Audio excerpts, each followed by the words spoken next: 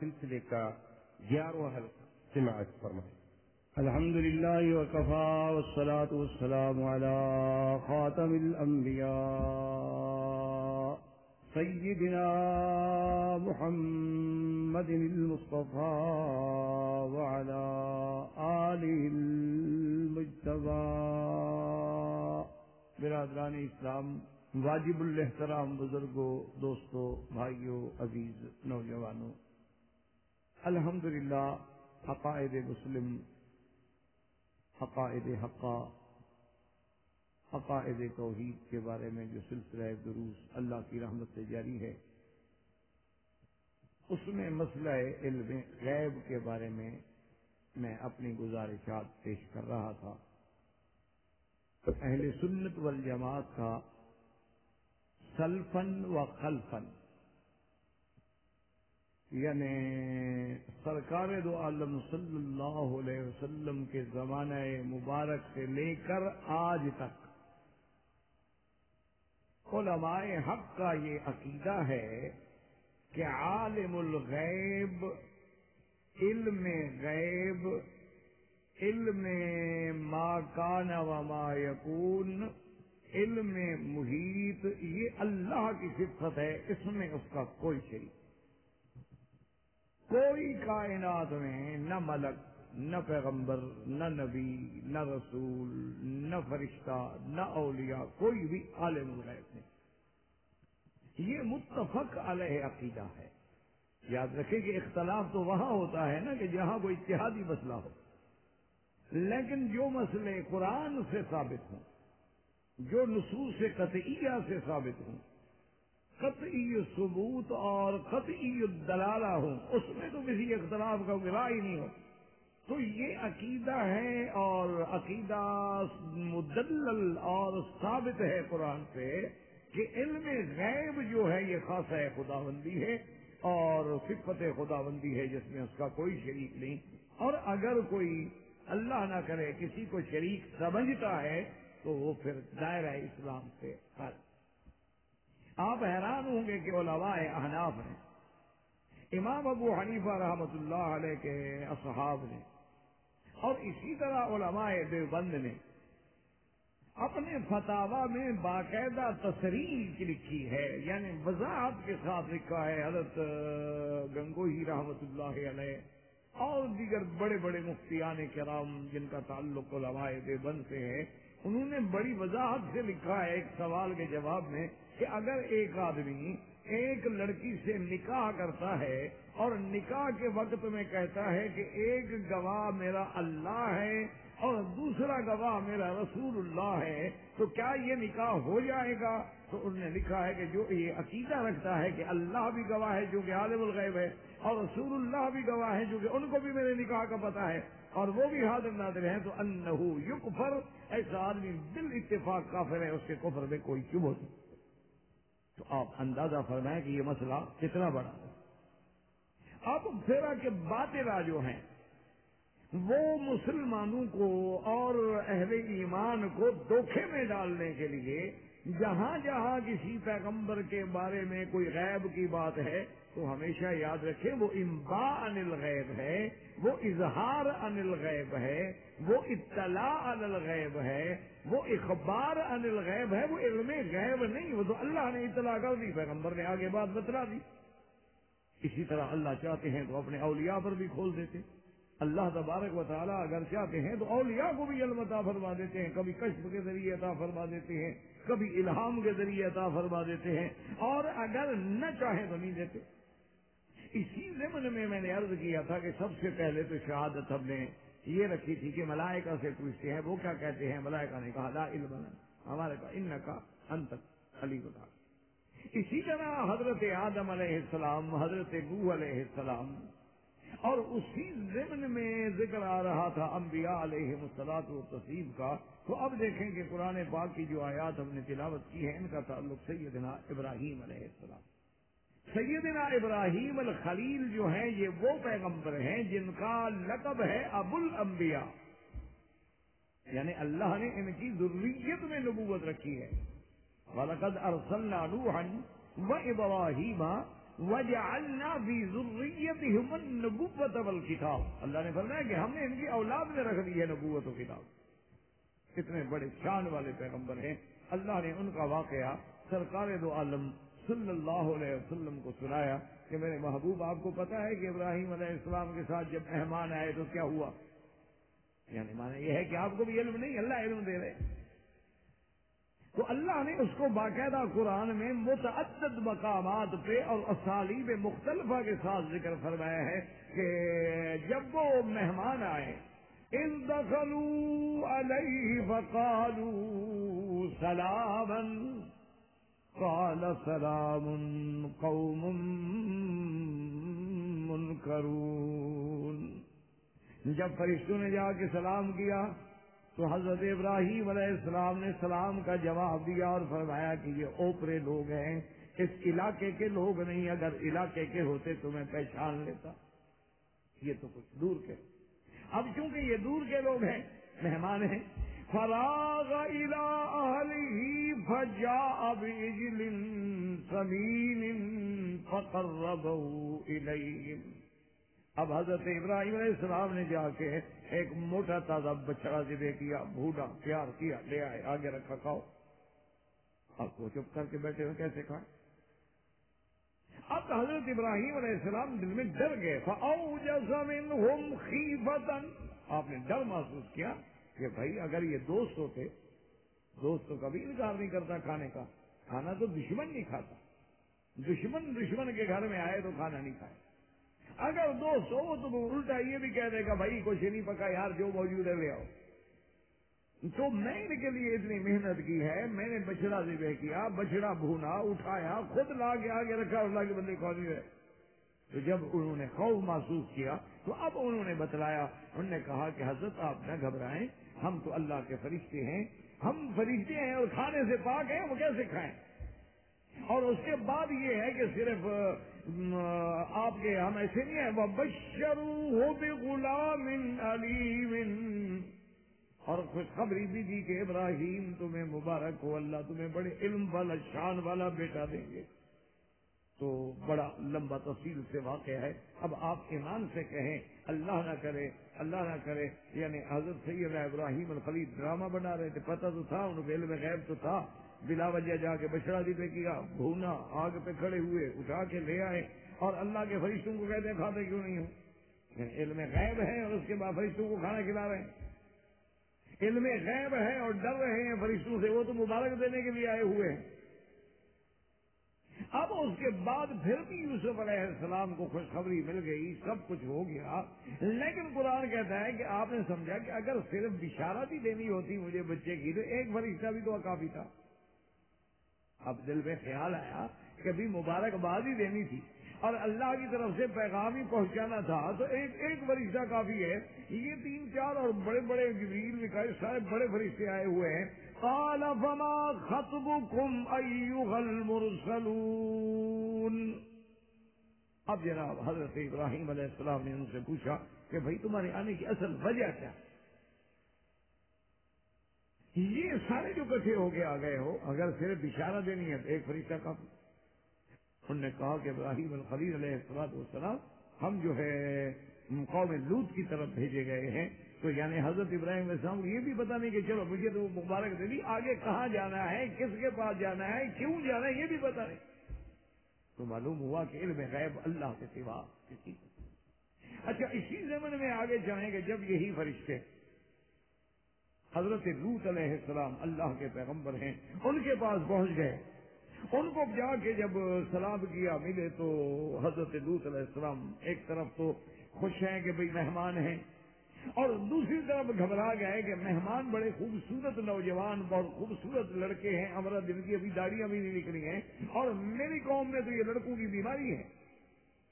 تو اس لیے گھبرائے بھی کہ آج بڑا دن سخت۔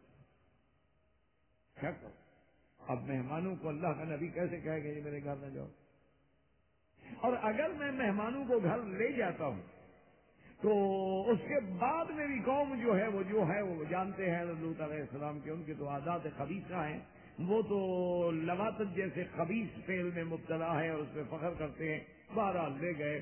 قوم آ گئی۔ اب قوم جھگڑ رہی ہے۔ زبردستی لوت علیہ السلام سے مہمان چھیننا چاہتی ہے اور لوت علیہ السلام اتنا مجبور ہو جاتے ہیں کہ فرماتے ہاں الائے بناتی ان کن تم فائدی۔ کہ اس ظالموں شرم کرو عورتیں جو موجود ہیں، میری بیٹیاں جو موجود ہیں۔ بعد علماء نے کہا، انہوں نے اپنی بیٹیوں تک کی آفر کر دی کہ میں بیٹیاں دے سکتا ہوں، مہمان تو نہیں دے سکتا۔ اور بعض علماء نے فرمایا، مانا یہ ہے کہ تمہارے گھر میں جو عورتیں ہیں، وہ بھی تو نبی کی بیٹیاں ہوتی ہیں۔ تم اپنی بیویوں کو چھوڑ کے لڑکوں کے پیچھے بھاگتے ہو، شرم کرو۔ انہوں نے کہا جی آپ جانتے ہیں، آپ ہمیں زیادہ نہ بتلائیں اور زیادہ نہ ستائیں۔ اور ان نگر طالب و معلوری تم جانتے ہو کہ ہم کیا چاہتے ہیں۔ ہمیں آپ کی لڑکیاں نہیں چاہیے۔ اب حضرت لو طرح اب ایمان سے اندازہ کرے کہ اس وقت پیغمبر پہ کیا گزری ہوگی، جس کے گھر میں ایسے مقدس مہمان ہوں اور وہ مہمانوں کی عزت نہ بچا سکے، ان کی حفاظت نہ کر سکے، تو لوت علیہ السلام پہ کیا گزر رہی ہے؟ اب انہوں نے جناب قوم نے دھمکی دی۔ انہوں نے کہا کہ دیکھو لوت علیہ السلام، ہم نے کافی شرم کر دیا ہے۔ اور تم جانتے ہو کہ ہم کیا چاہتے ہیں۔ تم مہمان ہمارے حوالے کرو، ورنہ ہم ابھی دیوار پھلان کے دروازہ توڑ کے اندر داخل ہو کے مہمانوں کو پکڑ لیں گے۔ تو حضرت لوت علیہ السلام گھبراتے ہیں اور کہتے ہیں کہ ہائے کاش میں آج، میرے پاس آج بھی طاقت ہوتی۔ میں آج ان کا مقابلہ کر سکتا۔ میں آج ان کو جواب دے سکتا لیکن کوئی طاقت نہیں ہے، کوئی جواب دینے کی قوت نہیں ہے۔ اب جب فرشتوں نے محسوس کیا کہ لوت علیہ السلام کی گھبراہٹ آخری حدوں کو پہنچ گئی ہے اور قوم کا ظلم اور جور جو ہے وہ بالکل علم نشرا سامنے آ گیا ہے تم نے کہا کالو یا لو تو رسول ربک لن يصلوا الیک اب فرشتوں نے کہا کہ لوت علیہ السلام ہم تیرے رب کے بھیجے ہوئے فرشتے ہیں۔ آپ کیوں گھبرا رہے ہیں؟ یہ آپ کے قریب بھی نہیں آ سکتے۔ یعنی کمال دے کے فرشتوں نے یہ نہیں کہا کہ ہمارے قریب نہیں آ سکتے۔ انہوں نے کہا ہمارے قریب کیا ہے؟ یہ آپ کے قریب بھی نہیں آ سکتے۔ آپ اپنا بھی فکر نہ کریں، ہم جو کھڑے ہیں۔ اور اس کے بعد یہ بھی بتلا دیا فرشتوں نے کہ ہم تو ان پر اللہ کی طرف سے عذاب نازل کرنے کے لیے آئے۔ لوت علیہ السلام کو پتہ نہیں۔ نہ یہ پتا لگا کہ فرشتے ہیں، نہ یہ پتا لگا کہ ان کے عذاب کے لیے آتا کہ اس مشاشا کب عذاب آئے گا ان پر۔ یہ تو بے حد دلیل قوم ہے۔ ان صبح ان پر صبح کو عذاب آئے گا۔ پیغمبر چیخ پڑے کہنا کہ صبح کو تو بہت دیر ہے، ابھی ساری رات پڑی ہوئی ہے۔ تو اللہ کے فرشتوں نے کہا کہ علیہ سب صبح بے قریب ایک اب نہ کریں، صبح قریب ہے۔ صبح ہونے والی ہے۔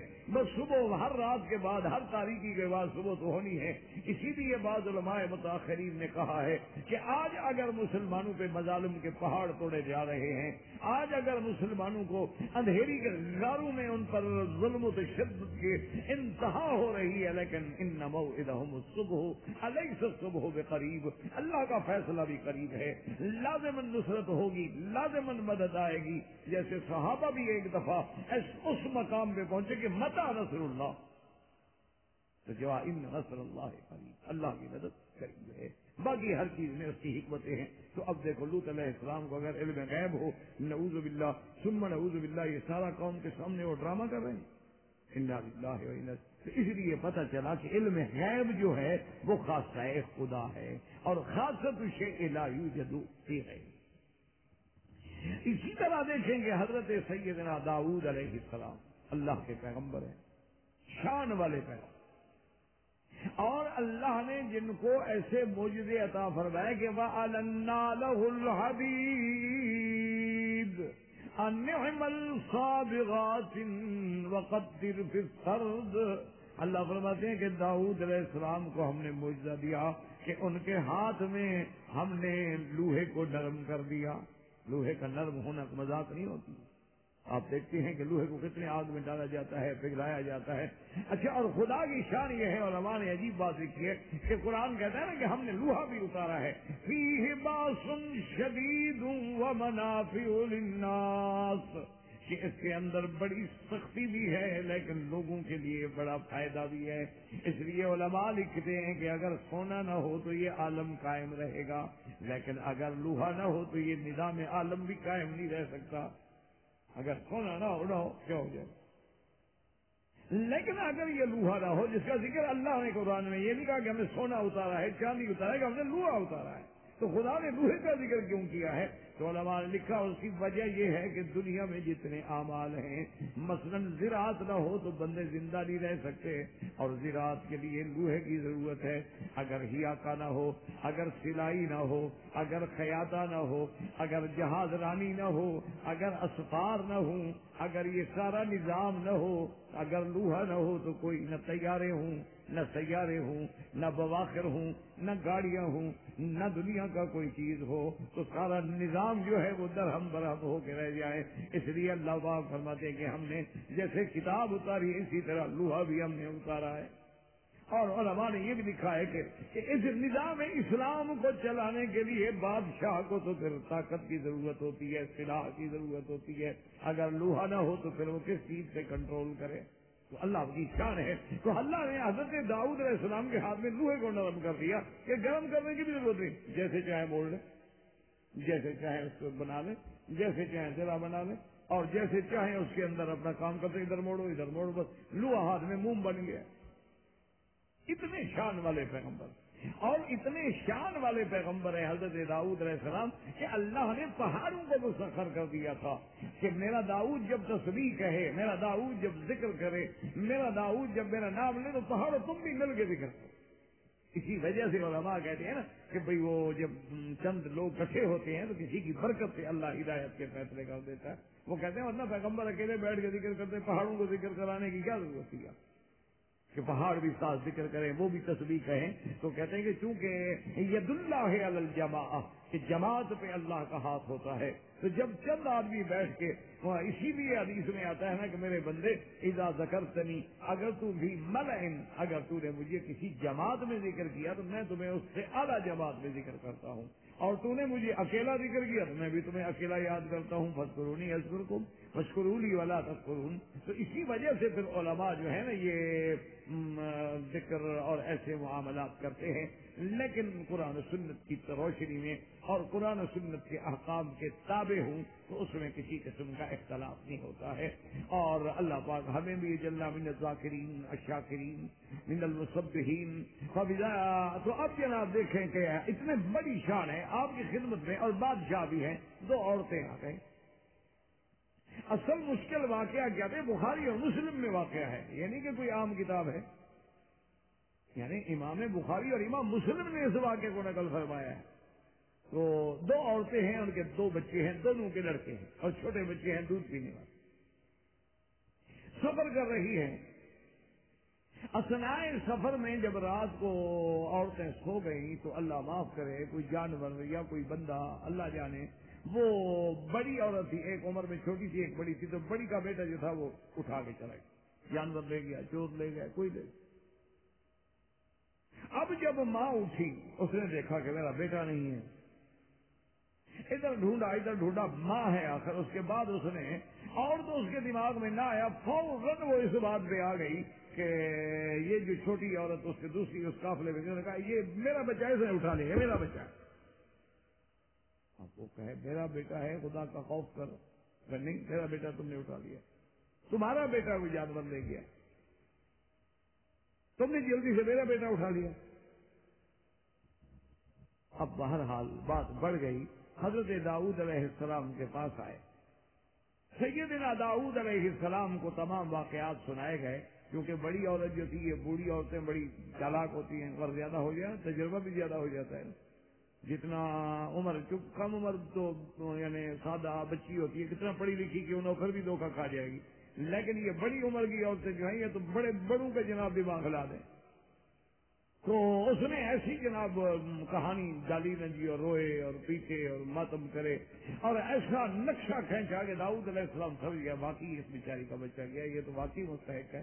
تو حضرت نے اس کے رونے کو، اس کے غم کو، اس کے ڈرامے کو سچا سمجھ لیا اور بچہ پکڑ کے اس کو دے دیا۔ حالانکہ بچہ چوٹی کا اب اللہ کے نبی ہیں، بادشاہ ہیں، فیصلہ کر دیا وہ عورت بیچاری دوسری کیا کر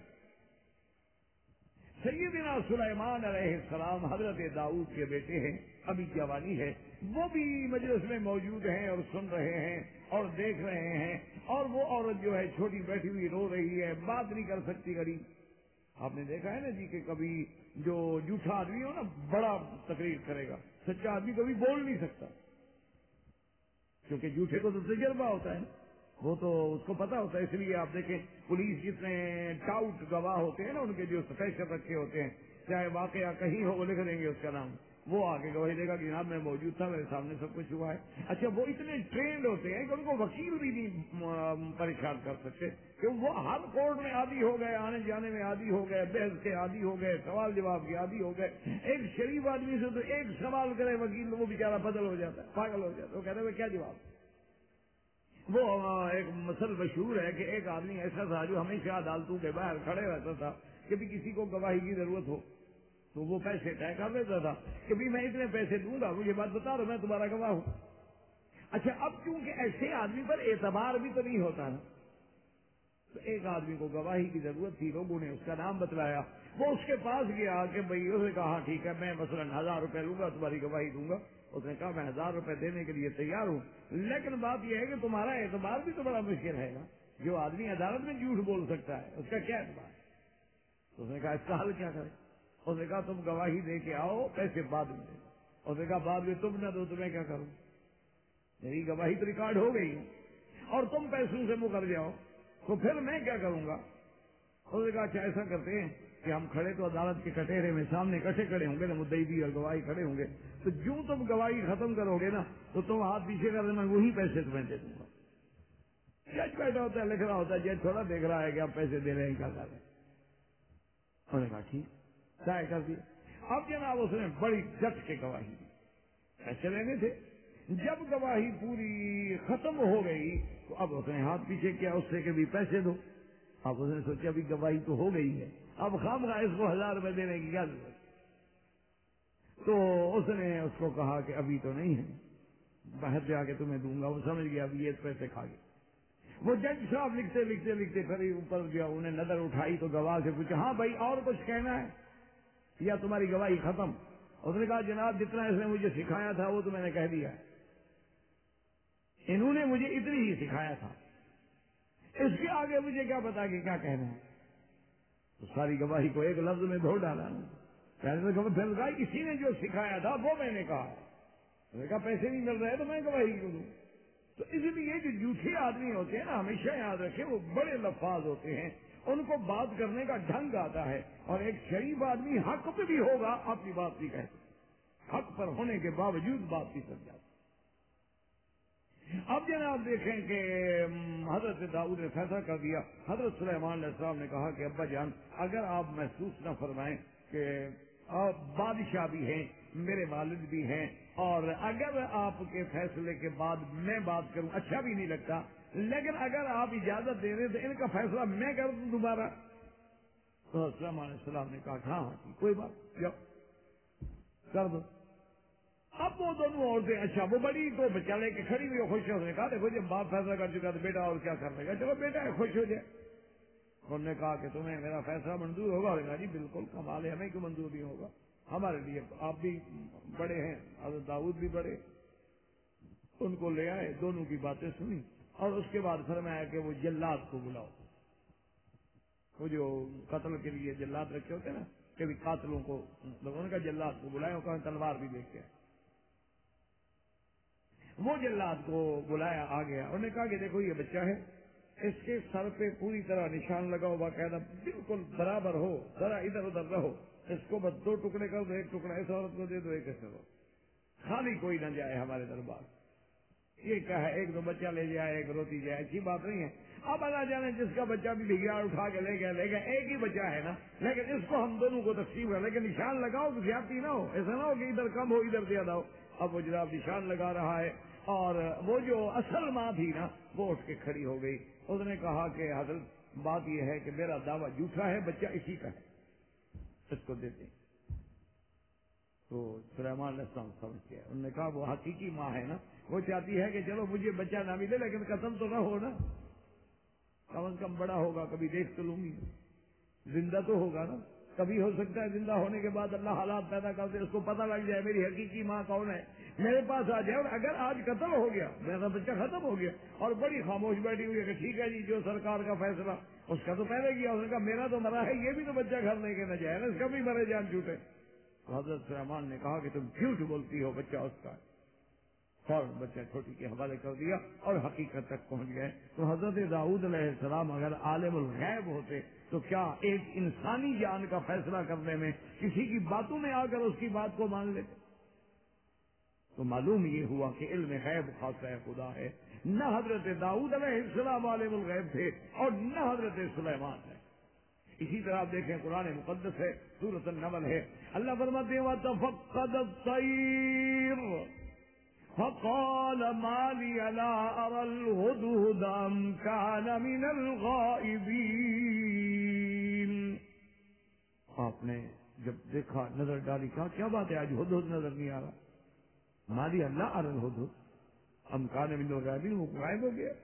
کہاں گیا لو أذبنه عذابا شديدا او لأذبهنه آپ نے فرمایا، آج آنے دیں حضرت کو، یا تو آج میں اس کو ایسی سزا دوں گا نا ایسے سخت عذاب دوں گا، یا پھر آج اس کو میں ذبح کر دوں۔ گا ہاں اولا ليأتيني بسلطان مبین یا پھر اپنی غیر حاضری کا کوئی واضح عزت لے کے آئے، واضح دلیل لے کے آئے کہ میری غیر حاضری کی وجہ کیا ہے؟ اب جناب اللہ کا قرآن ہے، تھوڑی دیر گزری ہد ہد آ گیا اور جب آیا تو اس کے فوراً بعد حضرت سلیمان علیہ السلام کے پیش ہوا۔ اس نے کہا حضرت مجھے سزا بعد میں دے لیکن پہلے میری واقعات تو سن لیں میری بات تو سن لیں فقال أحطت بما لم تحط به وجئتك من سبأ بنبأ يقين. داؤد علیہ السلام کہتے ہیں پیغمبر کو سلیمان جو بادشاہ ہے انسانوں کا بادشاہ جنوں کا بادشاہ چرندوں کا بادشاہ پرندوں کا بادشاہ سب کی بولیاں جاننے والا۔ کہتا ہے سلام علیہ السلام جو میں خبر لایا ہوں آپ کو پتہ نہیں ہے۔ جو میں خبر لے کے آیا ہوں نا، آپ کو کوئی علم نہیں۔ انہوں نے کیا بات؟ انہوں نے کہا، میں ایک قوم سبا کے بارے میں، یمن کے علاقے میں وہاں سے آ رہا ہوں۔ اتنی وجد تو امراطن تم میں نے وہاں دیکھا ہے، ایک عورت ہے، ان کی ملکہ ہے، وہ حکومت کر رہی ہے۔ میں نے دیکھا، ان کی قوم سورج کی پوجا کرتی ہے۔ یہ عجیب واقعہ ہے۔ اور وہ عورت جو ہے، اتنی بڑی ملکہ ہے اور ایسا بڑا عرش ہے تخت ہے۔ بس سارا واقعات سنائے ہیں۔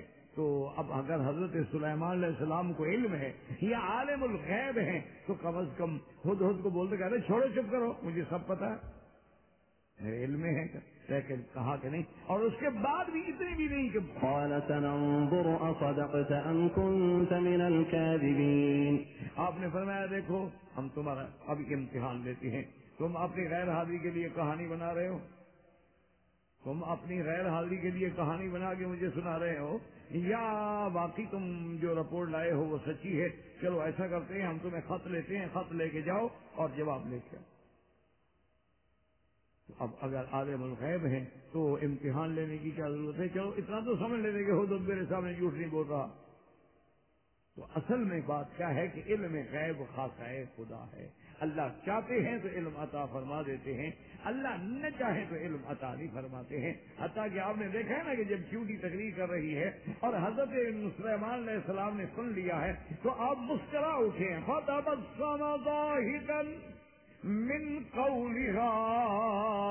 آپ مسکرائے اور اس کے بعد کہا، میرا اللہ، یہ تیرا شکر ہے، تو نے مجھے یہ نعمت بخشی ہے۔ مطلب مجھے کیا پتا میں کیسے ان کی زبان سمجھتا اور آواز پہنچ جاتی؟ علم غیب خاصا ہے، خدا ہے۔ لیکن یاد رکھنا، ایسے مقامات پر مشکل یہ ہو گئی ہے کہ ہمیں ایسے اہل احوا، ایسے اہل بدا اور ایسے مائلین الشرک لوگوں سے واسطہ پڑا ہے جو اللہ کے قرآن میں بھی تحریف کرنے سے باز نہیں آتے۔ وہ کہتے ہیں کہ جناب، یہ جو حضرت سلیمان علیہ السلام نے کہا تھا کہ مالی لا ارل ہد ہدا ام کانا من الغائبین وہ کہتے ہیں یہی تو دلیل ہے کہ سلیمان علیہ السلام عالم الغیب ہے زیادہ کریں یہ قیاس ایک کتاب لکھی ہے اس نے۔ ان کا ایک مناظر گزرا ہے۔ مولوی عمر۔ تو اس نے بریلوی حضرات کا۔ تو اس نے اس میں لکھا ہے کہ یہ تو دلیل ہے کہ حضرت سلیمان علیہ السلام جو غائب ہے اس کو غائب ہی کہہ رہے ہیں نا۔ غائب کو حاضر کہتے تو مانا ہے کہ علم نہ ہوتا۔ کیسے چکر دیا باطل سے اسی طرح چکر دیتے ہیں۔ وہ کہتا ہے کہ جی حضرت نے بھی تو یہی کہا نا کہ وہ غائب ہے اور کافی غائب۔ مانا ہے کہ آپ کا علم تھا نا کہ غائب ہے۔ کافی عقل کی بات ہے بس۔ یہ کوئی جواب ہے۔ اب یہ طالب علم ہے کہ نہ ہو۔ تو استاد صف دیکھ کے بات کرتا ہے نا کہ وہ کہاں ہے۔ اس کا مانا یہ تھوڑا کہ علم ہے۔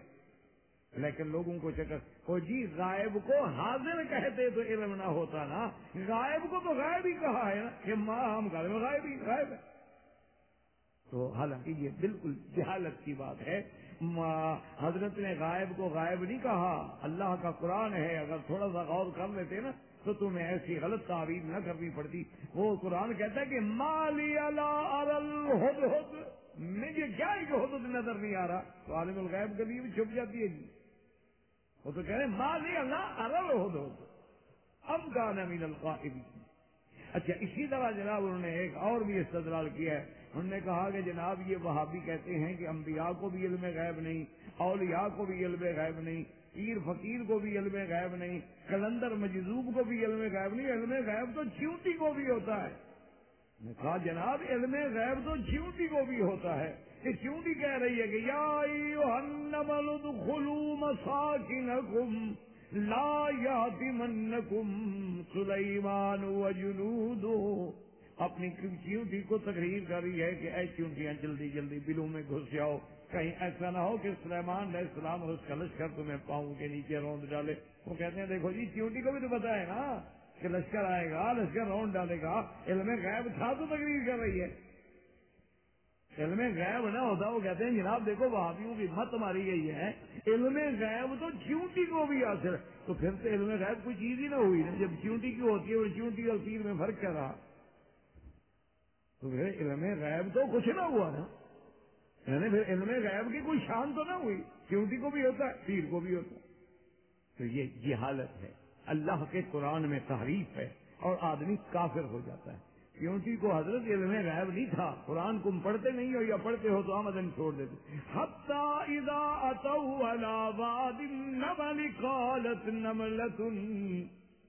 اللہ کا قرآن کہتا ہے کہ جب لشکر وادی نمل میں آ گیا، اب جی چیونٹی نے کہا۔ یہ نہیں کہ پہلے سے کوئی علم غائب ہے۔ پہلے سے کوئی علم غائب نہیں حتہ ادا آتا ہوں اللہ نمل جب لشکر آئے، شور ہو، بوٹ ہے ہر بندہ کہتی یار کیا ہو رہا ہے، کیا ہو رہا ہے، کیا ہو رہا ہے؟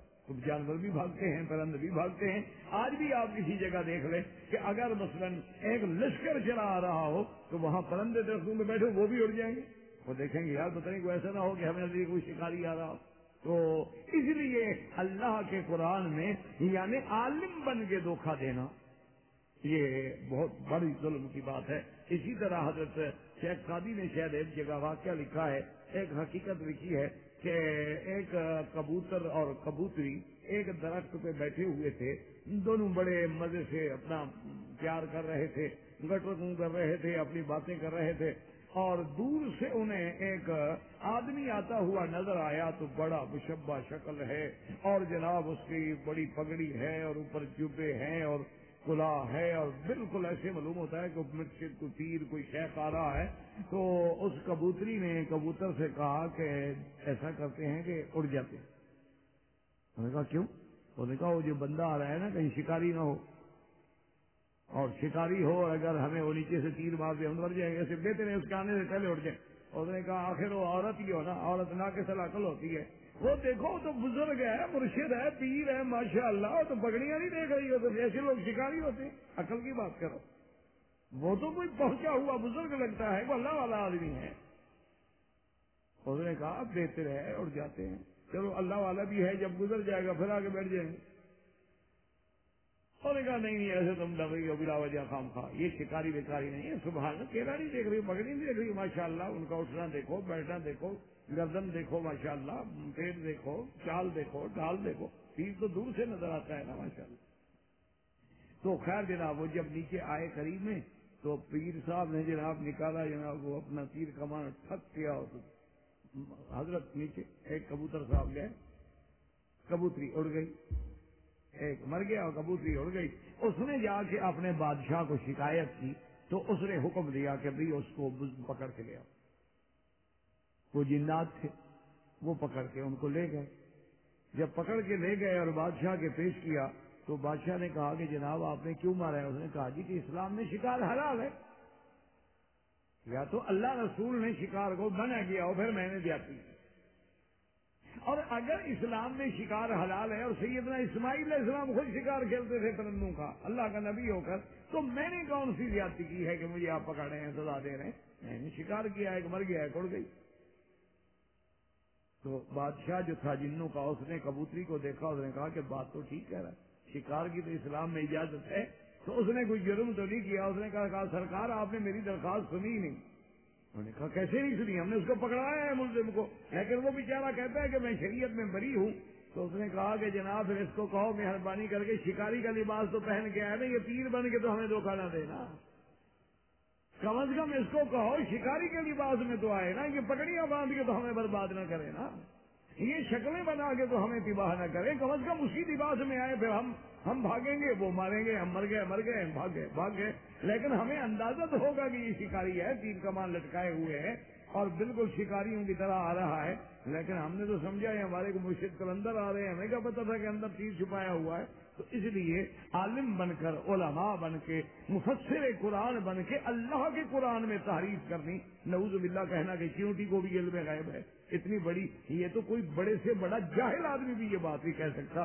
اور کہ جائیں کہ کہنے والے اپنے آپ کو مفسر قرآن اور خطیب الاثر مناظر اسلام۔ اور کتاب میں حوالہ کیا لکھا جی کیوں ٹی کوئل میں غائب ہے۔ کیونکہ اس نے کہا تھا کہ یا یوہن نمل ادخلو مساکن وہ اللہ کے بندے ہیں، یہ تو پھر اسی طرح اگر تمہاری زبان میں کوئی جواب دینا تو پھر اچھا نہیں لگتا، ہمیں وہ بات دے بھی دے یہ تو بات وہی ہوئی نا کہ ایک آدمی نے حافظ اللہ وسائے صاحب خطیب تھے، عالم تھے، تقریر فرما رہے تھے، تو ایک شیعہ نے ان کو لکھ کے بھیج دیا کہ وہ ان ہی ابراہیم اس نے کہا جی قرآن پاک میں ابراہیم نام بھی شیعہ تھے۔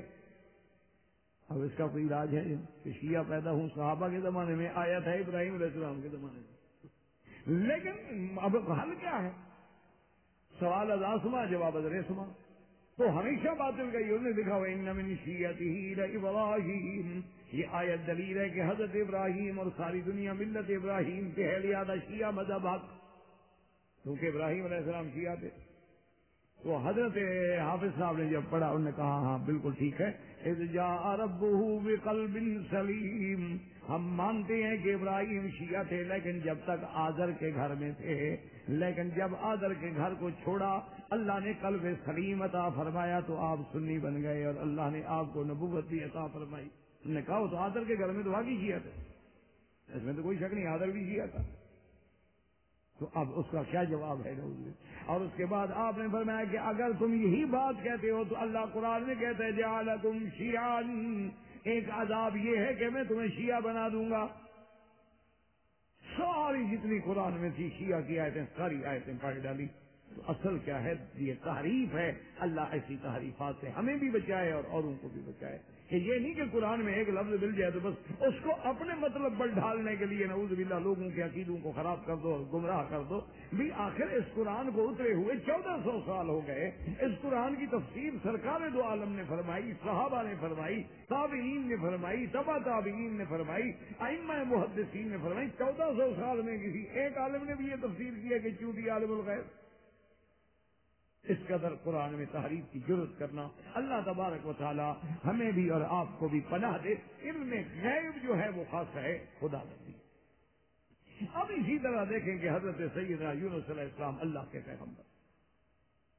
سیدنا یوسف، یونس علیہ السلام نے اپنی قوم کو دعوت دی، تبلیغ کی، لیکن قوم نہ مانی جب قوم نہ مانی تو ان کو آپ نے ڈرایا کہ دیکھو بھائی، تم نے اللہ کے نبی کی بات نہیں مانی ہے، میری دعوت کا انکار کیا ہے، اور میرے بار بار دعوت دینے سے آپ انکاری ہیں، تو تین دن کے بعد تمہارے لیے اللہ کا عذاب۔ اور اس کے بعد قاعدہ یہ ہوتا ہے کہ جب اللہ کے پیغمبر اس قسم کی وعید شدید سے مطلع کر دیں تو پھر پیغمبر اللہ کے حکم کا انتظار کرتے ہیں۔ اللہ کا حکم آتا ہے کہ اب آپ چلے جائیں۔ بس حضرت یونس علیہ السلام نے اس حکم خدا بندی کا انتظار نہیں کیا اور پہلے چل پڑے۔ اللہ کی شان ہے، اللہ کی طرف سے ناراضگی آ گئی۔ آپ آ کر کشتی میں سوار ہوئے۔ کشتی ڈوبنے لگی۔ انہوں نے کہا جی ایک بندہ سمندر میں گرانا پڑے گا۔ تو انہوں نے کہا اچھا۔ تو انہوں نے کہا کہ بات یہ ہے کہ ہمارا قاعدہ ہے کہ ہماری کشتی میں اگر کوئی سردار سے بھاگا ہوا غلام آ جائے نا تو پھر کشتی جو ہے وہ ڈوبنے لگتی ہے، ڈولنے لگتی ہے۔ تو اس لیے قرآن اندازی کی گئی تو قرآن حضرت یونس کا نام نکلا فرمایا مشہور ہاں میں ہی وہ ہوں کہ اللہ کے حکم کے انتظار نہیں کی اور بھاگ پڑا، لہذا مجھے ڈالا گیا۔ وہ کہیں جی آپ کو کیوں ڈالے؟ آپ تو پیغمبر ہیں، آپ شان والے ہیں، آپ کو ہم دریا میں ڈال دیں، مچھلیاں کھا جائیں۔ پھر کوڑا کرتے پھر کوڑا کرتے ہیں۔ پھر بھی حضرت یونس کا نام آیا۔ آخر حضرت یونس علیہ السلام کو سمندر دریا میں ڈالا گیا، کشتی چلی گئی۔ اللہ نے مچھلیوں کو حکم دیا کہ یونس علیہ السلام کو پیٹ میں لے لو، لیکن یہ تمہاری خوراک نہیں ہے، تمہاری غذا نہیں ہے، حفاظت کرو۔ اللہ نے قرآن میں باقاعدہ لکھا وہ ذنون الذهب مغاضبا فظن ان لن نقدر عليه فنادى في الظلمات اللہ الہ إلا أنت سبحانك. انی كنت من الظالمین فاستجبنا له فنجيناه من الغم كذلك ننجي المؤمنين. تو اگر حضرت یونس علیہ السلام عالم الغیب ہوتے ایمان سے کہیں، تو کیا آپ کو اتنے بڑے امتحان سے گزرنا پڑتا؟ مچھلی کے پیٹ میں قید رہنا پڑتا؟ اور اللہ کے حکم کے انتظار کے بغیر آپ چلے جاتے؟ سوال یعنی آپ خود اندازہ فرمائیں کہ کیا عالم الغیب بھی یہی؟ ان کو تو پتا ہوتا کہ میں نے ایسا کیا تو میرے اوپر اللہ کی ناراضگی آ جائے گی۔ اور مجھے تو اللہ پاک مچھلی کے پیٹ میں قید کر دیں۔ گے تو معلوم یہ ہوا کہ علم غیب جو ہے وہ خاص ہے خدا بندی ہے۔ اللہ کے سوا کسی کو علم غیب نہیں۔ اسی طرح آپ دیکھ لیں کہ قیامت والے دن جب اللہ پاک سیدنا عیسیٰ علیہ السلام سے پوچھیں گے کہ ہاں بتلائیں؟ تو کہیں گے کہ میرا اللہ میں کیسے بتلاؤں؟ میں تو اس وقت تک بات بتلا سکتا ہوں کہ جب میں وہاں موجود تھا، فلما توفيتني كنت أنت الرقيب عليهم وأنت على كل شيء شهيد۔ اور میرا اللہ مجھے اٹھا لینے کے بعد آپ ہی نگے بانے آپ کو پتا ہے کہ پھر قوم نے کیا کیا، مجھے تو کوئی پتا نہیں۔ ہر چیز پہ حاضر، ہر چیز پہ ناظر، ہر چیز کے جاننے والے، علم رکھنے والے صرف تیری ذات ہے، تیری صفت ہے۔ کیوں؟ کہ انکا انت علام الغیوب۔ کہ عالم الغیب ہونا اور غیوب کا جاننا صرف تیری اسی طرح آپ دیکھیں کہ سیدنا موسیٰ علیہ السلام، اب کتنا بڑا شان ہے، کریم اللہ ہے۔ اللہ کا پیغمبر ہے اور اللہ نے جس سے کلام کیا ہے، صرف بات اتنی ہوئی کہ آپ خطبہ پڑھ رہے تھے تقریب فرما رہے تھے، ایک بندہ کھڑا ہوا، اس نے پوچھ لیا کہ موسیٰ علیہ السلام، اس وقت آپ سے بھی کوئی بڑا عالم موجود ہے؟ تو آپ فرمایا کہ نہیں۔ اچھا حالانکہ دیکھا جائے نوز باللہ کو بات غلط تو نہیں، نبی سے بڑا عالم کون لیکن میرے اللہ کو یہ بات نہیں پسند اچھا آپ کو تو کہنا چاہیے تھا، اللہ عالم، سب سے بڑا اللہ ہے۔ یہ آپ نے کیسے کہہ دیا اور کوئی عالم نہیں؟ اب اللہ نے حکم دیا کہ موسیٰ علیہ السلام اچھا ایسا کریں کہ ابھی آپ کو علم سیکھنا ہے اور آپ میرا ایک بندہ ہے، دریا میں ایک جزیرہ ہے، وہاں رہتا ہے، وہاں جاؤ۔ یا اللہ، میں وہاں جاؤں کیسے؟ اور دیکھیں نا، اللہ کے لیے کیا مشکل تھی کہ جبریل علیہ السلام کو بھیج دیتے۔ اور حضرت موسا علیہ السلام کو ساتھ پہنچا دیتے، یہ سارا نقشہ آپ کے سامنے کر دیتے۔ فواد اللہ عزیز۔ لیکن دیکھیں اللہ کی شان امتحان پھر ایسے ہوتا ہے۔ اللہ نے حکم دیا ایسا کرو کہ ایک مچھلی جو ہے نا، وہ اپنے ساتھ ایک ٹوکری میں رکھ لو۔ اور مچھلی لے کے چل پڑو۔ اسی مچھلی سے کھاتے بھی رہو، ناشتہ بھی کرتے رہو، کھانا بھی کھاتے رہو، رات کا غذا اشا بھی کرتے رہو۔ اور جب وہ مچھلی زندہ ہو کے دریا کے اندر چھلانگ لگا کے چلی ہے وہی جگہ ہے، وہی جگہ، وہی میرا بندہ، میرا جو ایک بندہ ہے، وہی ہوگا۔ اللہ کا پیغمبر ہے، مچھلی لے کے جا رہے ہیں۔ میں کہا بہت مچھلی کے پیچھے چلتے ہیں۔ کہاں مچھلی، کہاں پیغمبر؟ اب جناب وہ مچھلی لے کے چلے چلے چلے چلے۔ خدا کی شان ہے، پہلے موسیٰ علیہ السلام کو تھکاوٹ محسوس نہیں ہوتی تھی، تو مفسرین لکھا ہے کہ اس دن تھک گئے۔ اس دن آپ کو تھکاوٹ بڑی محسوس اور آپ نے فرمایا تینا غدا انا لقد لقینا من سفرنا هذا نصبا آپ نے اپنے ساتھی سے یوشا سے کہا کہ بیٹا وہ ناشتہ لے آؤ، آج تو بہت تھک گئے۔ او، اس نے کہا، حضرت ناشتہ کیا لے آؤں؟ وہ تو مچھلی گئی۔ حضرت جو ہم ناشتہ کرتے تھے نا، وہ تو مچھلی گئی، ختم ہو گئی۔ کیسے گئی؟ انہوں نے کہا، حضرت میں تو بات بتانی بھول گیا۔ فلاں جگہ جب ہم نے قیام کیا تھا نا جی رات ٹھہرے تھے، تو اسی وقت وہ مچھلی جو ہے نا، وہ بڑی اس سے زندہ ہو گئی۔ اور زندہ ہونے کے بعد جناب وہ نکلی ٹوکری سے۔ اور سیدھی دریا میں ترتی گئی اور حضرت عجیب بات ہے، جیسے جیسے دریا میں جاتی گئی نا، وہ سڑک بنتی گئی۔ میں کہا، اللہ کے بندے، وہی جگہ کے لیے تو ہم سفر کر رہے ہیں، تم نے بتایا ہی کوئی نہیں۔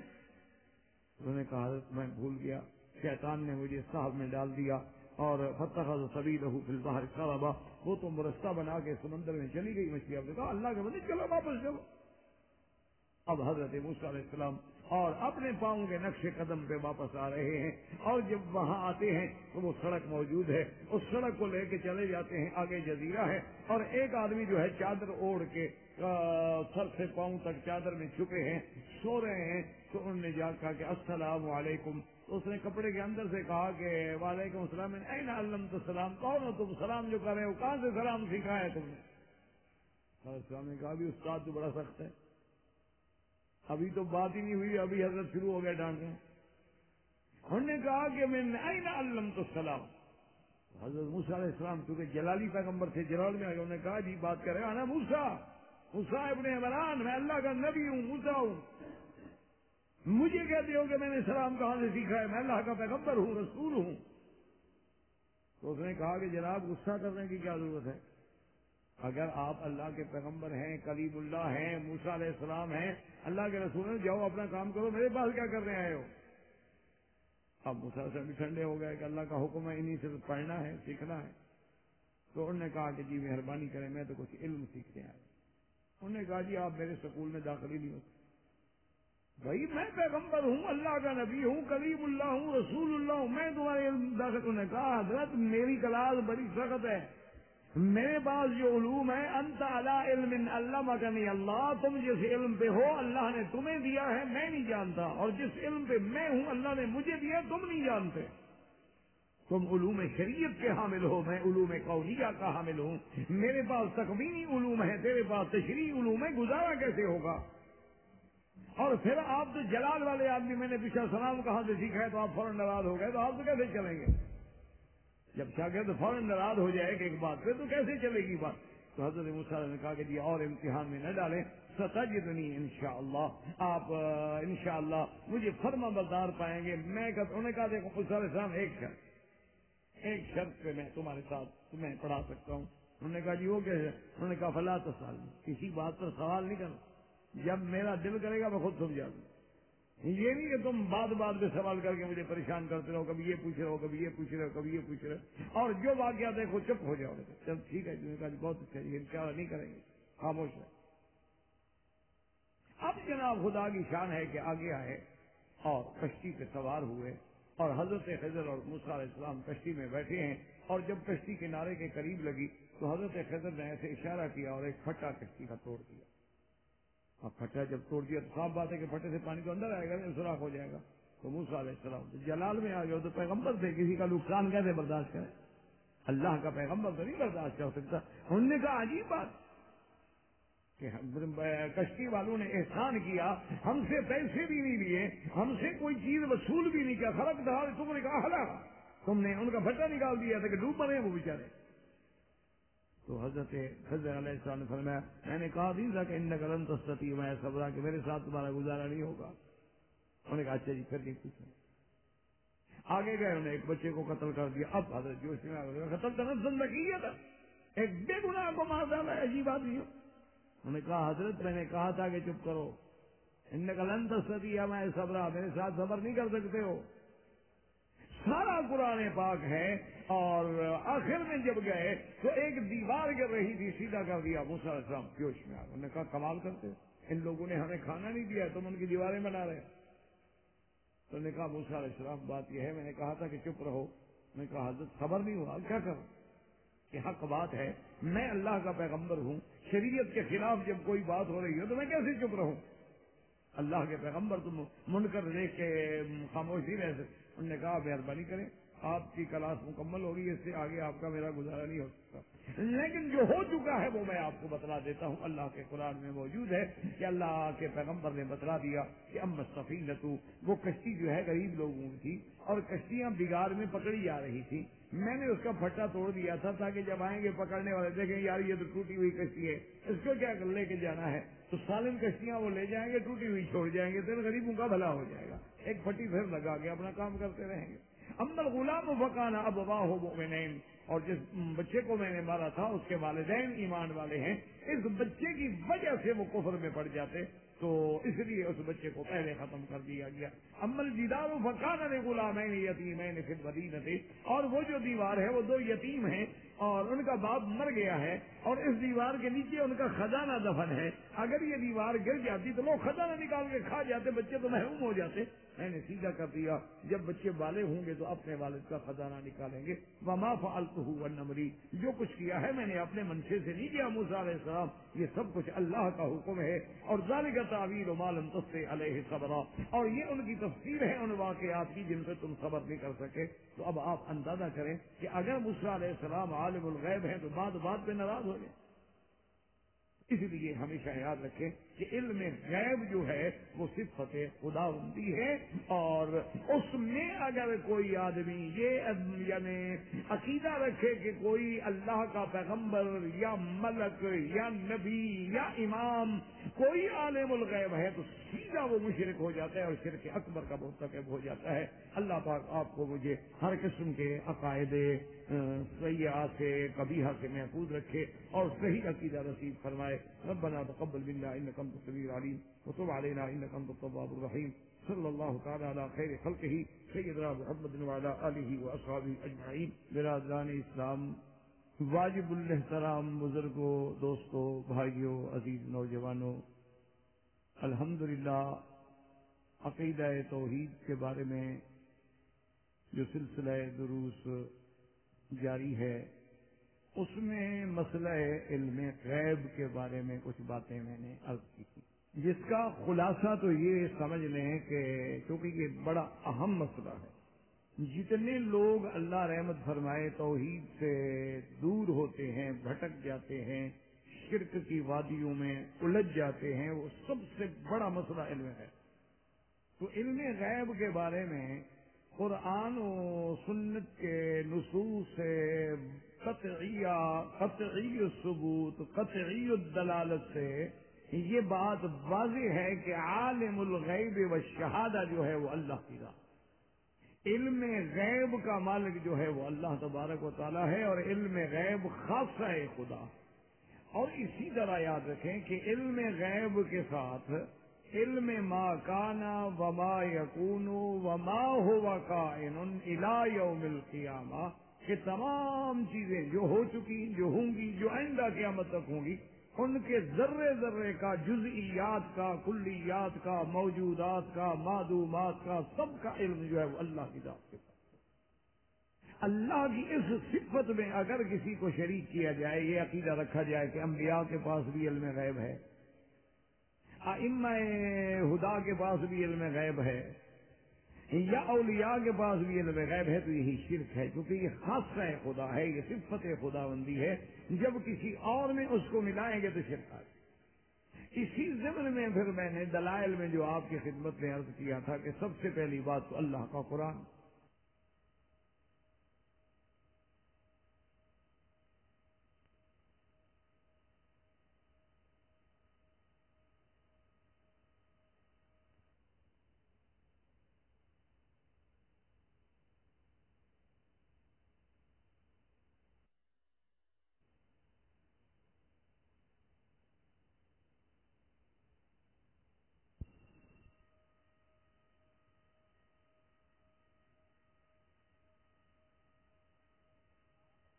اس کے بعد اللہ کی مخلوقات میں مخلوقات نوری ملائکہ ان سب نے بھی کہا کہ لا علم لنا، ہمارے پاس علم نہیں ان کا انت پھر سیدنا آدم علیہ السلام، سیدنا نو علیہ السلام، اسی طرح سیدنا ابراہیم الخلیل علیہ السلام، اسی طرح سیدنا داؤد علیہ السلام، سیدنا سلیمان علیہ السلام، اسی طرح سیدنا یعقوب علیہ السلام اسی طرح سیدنا لوت علیہ السلام ان تمام پیغمبران کے قرآن مبارک کے آیات سے یعنی مدلل میں نے عرض کیا تھا کہ ان سب کا عقیدہ یہ ہے کہ وہ بھی غیب نہیں جانتے علم غیب کا مالک جو ہے اللہ تبارک و تعالیٰ کا اور اسی طرح سیدنا موسیٰ علیہ السلام، اسی طرح سیدنا عیسیٰ علیہ السلام کہ انہوں نے بڑی صاف کیا اللہ، میں تو اپنی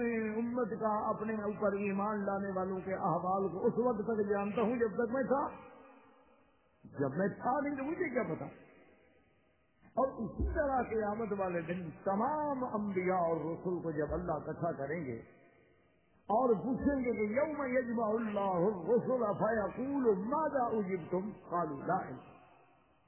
سب کے سب کہیں گے کہ ہمیں علم نہیں ان کا انت اللہ مجھے اب اتنے دلائل کے بعد اور کوئی ضرورت تو نہیں ہے کہ آدمی اس تفصیل میں جائے، لیکن کچھ واقعات جن کا تعلق سرکار دو عالم سیدنا محمد مصطفیٰ صلی اللہ علیہ وسلم سے ہے کہ سیدنا محمد مصطفیٰ صلی اللہ علیہ وسلم اپنے گھر میں بیٹھے ہیں۔ ایک بیوی جو ہے وہ حاضر ہوتی ہے، ایک عورت حاضر ہوتی ہے۔ اور تحقیق حدیثوں کے مطابق جو اس کا نام ہے، بی بی خولا اس کا نام ہے سالبا کی بیٹی ہے، بی بی کا نام بی بی خولا آپ یہ کہنے لگی کہ یا رسول اللہ صلی اللہ علیہ وسلم کہ میرے خاون نے مجھے اپنے اوپر حرام کر لیا ہے۔ اس نے کہہ دیا ہے، ویسے عربی کا محاورہ تو یہ ہوتا ہے کہ انت علیہ کا ظاہر امی، کہ تم میرے لیے ایسی ہو جیسے میری ماں کی پشت ہے۔ تو مانا یوں سمجھ لیں کہ میرے لیے ایسی ہو جیسے میری ماں ہے۔ ورنہ محاورات میں جو بات ہے وہ بڑی اس میں حکمتیں ہیں کہ انت علیہ کا ظاہر امی، کہ اس نے اپنی بیوی کو تشبیح دی اپنی ماں کی پشت سے۔ پشت سے تشبیح دینے کی وجہ کیا تھی؟ تو بعد ماں فرماتے ہیں کہ کنایا ہے۔ اصل میں تو پیٹ کہنا تھا کیونکہ مرد تو عورت کے بطن پہ بیٹھتا ہے نہ کہ اس کے زہر پہ بیٹھتا ہے۔ تو کنایا تھا؟ زہر کہہ دیا گیا۔ بعض علماء نے فرمایا کہ نہیں، مقصد یہ ہے کہ اللہ نے جو خامد کو ایک نکاح کے بعد حق دیا ہے علوب کا اور ہر چیز کی سواری جو ہے گویا کہ اس کے زہر پہ ہوتی ہے۔ مانا ہوتا ہے کہ اس سواری سے اس کو حق ہے بیٹھنے کا۔ تو یہ جو اس کا حق تھا، اس نے اپنے حلال کو نسبت دے دی، اس سے جو ماں ہمیشہ کبھی حرام ہوتی ہے۔ تو اس کا، اس کو کہتے ہیں عربی میں زہار۔ اور جاہلیت میں ان کا یہ عقیدہ تھا کہ اگر کوئی بندہ اپنی بیوی کو کہہ دے کہ تم میرے لیے ماں ہو یا میری ماں کی طرح ہو، تو وہ ہمیشہ کے لیے حرام ہو جاتی تھی۔ اب وہ کبھی خامد کے لیے حلال ہونے کا رستہ ہی دے تو وہ بی بی صاحبہ جو آئی حضور کی خدمت میں آ کے شکایت کی اور حضور بی بی عائشہ صدیقہ رضی اللہ تعالیٰ عنہ کے حجرے میں تھے، آگے کہنے لگی کہ یا رسول اللہ، کیا نا شب تن انا غلیت اکل شبابی و اکل مالی وہ نسل کو لہو بتنی وہ قبر سنی یا رسول اللہ، میں خوبصورت عورت تھی، میں ایک پیسے والی عورت تھی، میرے خامد نے میرے ساتھ شادی کی، میرا مال بھی کھا گیا، میری سیت بھی کھا گیا، میرا حسن بھی کھا گیا، اور میں نے اپنا پیٹ بھی اس کو نچوڑ کے دیا ہے، بچے ہیں، اولاد ہیں، آج میں جب بوڑھی ہو گئی تو مجھے کہتا ہے کہ تو میری ماں ہو، میں کہاں جاؤں؟ یا رسول اللہ، اگر میں بچوں کو خامد کے حوالے کر دوں تو بچے تباہ ہو جائیں گے، جب ماں نہیں سنبھالے گی تو باپ کیا سنبھالے گا؟ اور اگر بچوں کو میں اپنے پاس رکھوں تو ان کو کھلاؤں کہا کہ بچے بھوکے مر جائیں گے، میرے پاس ہے کیا جو میں بچوں کو کھلاؤں گی؟ تو مہربانی کریں، میرا فیصلہ کریں، میرا کوئی حل فرمائے تو حضور صلی اللہ علیہ وسلم نے فرمایا کہ بظاہر تو تو اس سے حرام ہو گئی، قد حرم سے آ رہے ہے تو چونکہ اس نے تمہیں ماں کے برابر کہہ دیا ہے اس نے کہا، رسول اللہ، یہ تو کہا ہے؟ کہ ہم علیہ کا ظاہر امی لیکن ماں اللہ کا طلاق نہیں دی اس نے۔ بس یہی کہا کہ تم میرے لیے ماں کی طرح ہو۔ اب فرمایا، قد حرم سے علیہ. لیکن اصل بات یہ ہے کہ میں تیرا فیصلہ نہیں کر سکتا، تیرے بارے میں کوئی حکم قرآن میں اللہ کی واحد میں نادل نہیں ہوا۔ تو بی بی صاحبہ نے پھر عرض کیا، حضور نے فرمایا، اللہ کی بندی ماں وہی ہے کہ ماں وہ ابھی کا صحیح تیرے بارے میں اللہ نے قرآن میں کوئی حکم نازل نہیں کیا، تو میں کیسے فیصلہ کروں؟ اچھا بی بی اتنے غصے میں آگے کہنے لگی، یا رسول اللہ، قد انضر اللہ علیہ فی کل شہن اللہ نے قرآن میں آپ کے لیے ہر قسم کے مسئلے بیان کیے ہیں کہ میرا نہیں بیان کیا۔ اب میرا کیوں نہیں حل کرتے؟ حضور نے فرمایا، اللہ کی بندی ماں اندر اللہ فی کی شیا تیرے بارے میں کوئی حکم نہیں آیا. تو اسی سے آپ اندازہ فرمانے کہ کیا عالم الغیب بھی یہ کہتا ہے کہ جی حکم نہیں آیا، آئے تو میں فیصلہ کروں۔ جب آپ کو ذرے ذرے کا علم ہو، جب آپ تمام جزئیات، تمام کلیات یا جو حکم آنا تھا، اس کا بھی آپ کو پہلے سے علم ہو۔ تو حضور یہ تو نہ فرمائے حتیٰ کہ بیوی یعنی بیوی اتنے غصے میں آ گئی، کہنے لگی کیسے رسول اللہ اشتکی رہے اب میں آپ کو شکایت ہی نہیں کرتی۔ ان اشکو اللہ، میں اللہ کو درخواست دیتی ہوں کہ میرے ساتھ یہ ہو گیا۔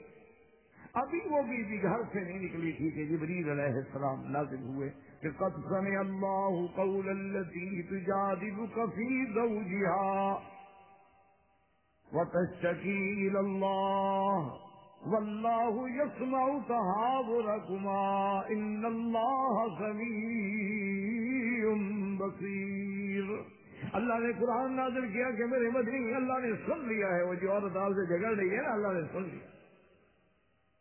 قد سمع اللہ قول الذی اس بی بی کی بات تجادلک فی زوجها، جو آپ سے اپنے خامد کے مسئلے پہ جھگڑ رہی تھی۔ کہ آپ کہتے تھے، حکم نہیں آیا، وہ کہتی ہے، کیوں نہیں آیا؟ آپ کہتے ہیں، معلوم تو ہوتا ہے کہ تم حرام ہو گئے کہتے نہیں، اس نے مجھے طلاق تو دی نہیں۔ تو یہ تھا مجادلہ۔ بی بی عائشہ صدیقہ رضی اللہ تعالیٰ عنہ اسی کمرے میں موجود ہیں اور اپنے بال دھو رہی ہیں بی بی فرماتی سبحان الذی وسیع سماہو اللہ تیری شان ہے کہ تو نے عرش پہ سن لیا۔ حالانکہ میں کمرے میں حضور کے موجود ہوں، لیکن میں نے بھی کچھ سنا، کچھ نہیں سنا۔ کچھ باتیں میں نے سنی ہیں، کچھ مجھے بھی سمجھ نہیں آئی۔ لیکن مولا یہ تیری صفت ہے کہ تو نے عرش پہ ساری بات سن لی۔ اب جب قرآن نازل ہو گیا اور حضور صلی اللہ علیہ وسلم نے فرمایا کہ اچھا وہ تیرا خامن کدھر ہے؟ بلاؤ۔ اور ابن السامت اس کے خامن کا نام ہے۔ یہ عبداللہ ابن السامت صحابی کے بھائی ہے اور خود بھی صحابی ہیں۔ تو حضور نے بلایا اور فرمایا کہ دیکھو، اللہ نے حکم دے دیا ہے۔ اب تمہارے لیے زہار کے کفارے کا مسئلہ اللہ نے حل کر دیا ہے کہ تم ایسا کرو کہ بتحری رولا کا بطن ایک غلام لے کے آزاد کرو۔ تو اس نے کہا، یا رسول اللہ، غلام، کہاں سے میں غلام لے لوں؟ غلام خریدنا کو آسان بات ہے۔ اس دور میں بھی ہزاروں میں غلام بکتے تھے، تو میں کیسے خریدوں؟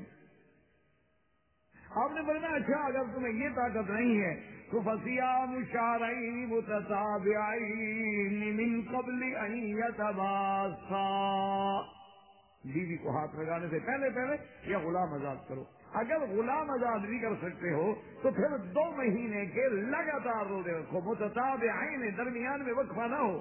درمیان میں چھوڑو گے تو پھر شروع کرنے پڑیں گے۔ مثلاً ایک آدمی نے پندرہ روزے رکھے چھوڑ دیے، تو پھر اول سے شروع کرے گا وہ، پندرہ نہیں، شمار ہوں گے۔ ہاں اگر کوئی عذر آ جائے، بیمار ہو گیا، کوئی اہم سفر پیش آ گیا، تو وہ شمار یعنی وہ دن کاٹ کے پھر پیچھے سے شمار شروع ہو جائے گا۔ اس نے کہا یا رسول اللہ دو مہینے کے متواتر روزے رکھنے میں کیسے رکھ سکتا ہوں؟ میں تو تین دفعہ اگر دن میں نہ کھاؤں نا حضور میں اندھا ہو جاتا ہوں. اس نے کہا حضور میں یہ بیماری ہے؟ اگر میں سارا دن کچھ نہ کچھ کھاتا رہتا ہوں آ, یہ بیماری ہے بلیما اس کو کہتے ہیں یہ بیماری ہے باقاعدہ آدمی کھاتا ہی رہتا ہے بعضوں کو کھاتے کھاتے مر جاتے ہیں۔ یہ نہیں کہ یہ کوئی نعوذ باللہ حدیث پہ اعتراض کرے یہ بیماری ہے۔ اور یہ ملکہ کے خاندان میں بھی یہ بیماری رہی ہے، یہ ملکہ ہے برطانیہ کی، اس کے پورے خاندان میں یہ بیماری تھی۔ تو یہ ایک بیماری ہے، نو مرض ہے، نو ان من المرض ہے، کسی کو بھی ہو سکتی ہے۔ تو اس نے کہا، یا رسول اللہ، میں اگر تین دفعہ کم از کم نہ کھاؤں، نہ کل بسری میری آنکھیں بالکل نور چلا جاتا ہے، میں اندھا ہو جاتا ہوں۔ تو میں کیسے رکھوں گا دو مہینے کے روزے؟ حضور نے فرمایا فَإِطْعَامُ سِتِّينَ مِسْكِينًا۔ اگر روزے بھی نہیں رکھ سکتے ہو تو پھر ساٹھ مسکینوں کو دو وقت کا کھانا کھلاؤ۔ اس نے کہا، یا رسول اس کا ایک طریقہ ہے کہ آپ مجھے کھانے کے پیسے دے دیں یا کھانا دیں۔ اور کہاں سے کھلاؤ؟ یہ لاڈ تو پھر صحابہ کرتے تھے نا حضور کے ساتھ۔ اور کسی کی طاقت ہے۔ اور تھا بھی حقیقت، جھوٹ بھی نہیں تھا۔ ایک صحابی نے رمضان اور مبارک کے مہینے میں روزے کے ساتھ اللہ کا بندہ بیوی سے جما کر بیٹھا۔ انسان آج جب ہم یہ واقعات پڑھتے ہیں بعض لوگ حیران ہوتا ہے فرق صرف اتنا ہے کہ وہ سچے لوگ تھے بتا دیتے تھے، ہم بتاتے نہیں ورنہ کرتا ہر کوئی ہے۔ فرق اتنا۔ وہ سچے لوگ تھے، غلطی ہو گئی، بتا کہ تاکہ قیامت میں عذاب نہ آئے، جو کچھ ہونا ہے دنیا میں ہم بھگت یہ فرق تھا نا صحابہ میں اور ہم۔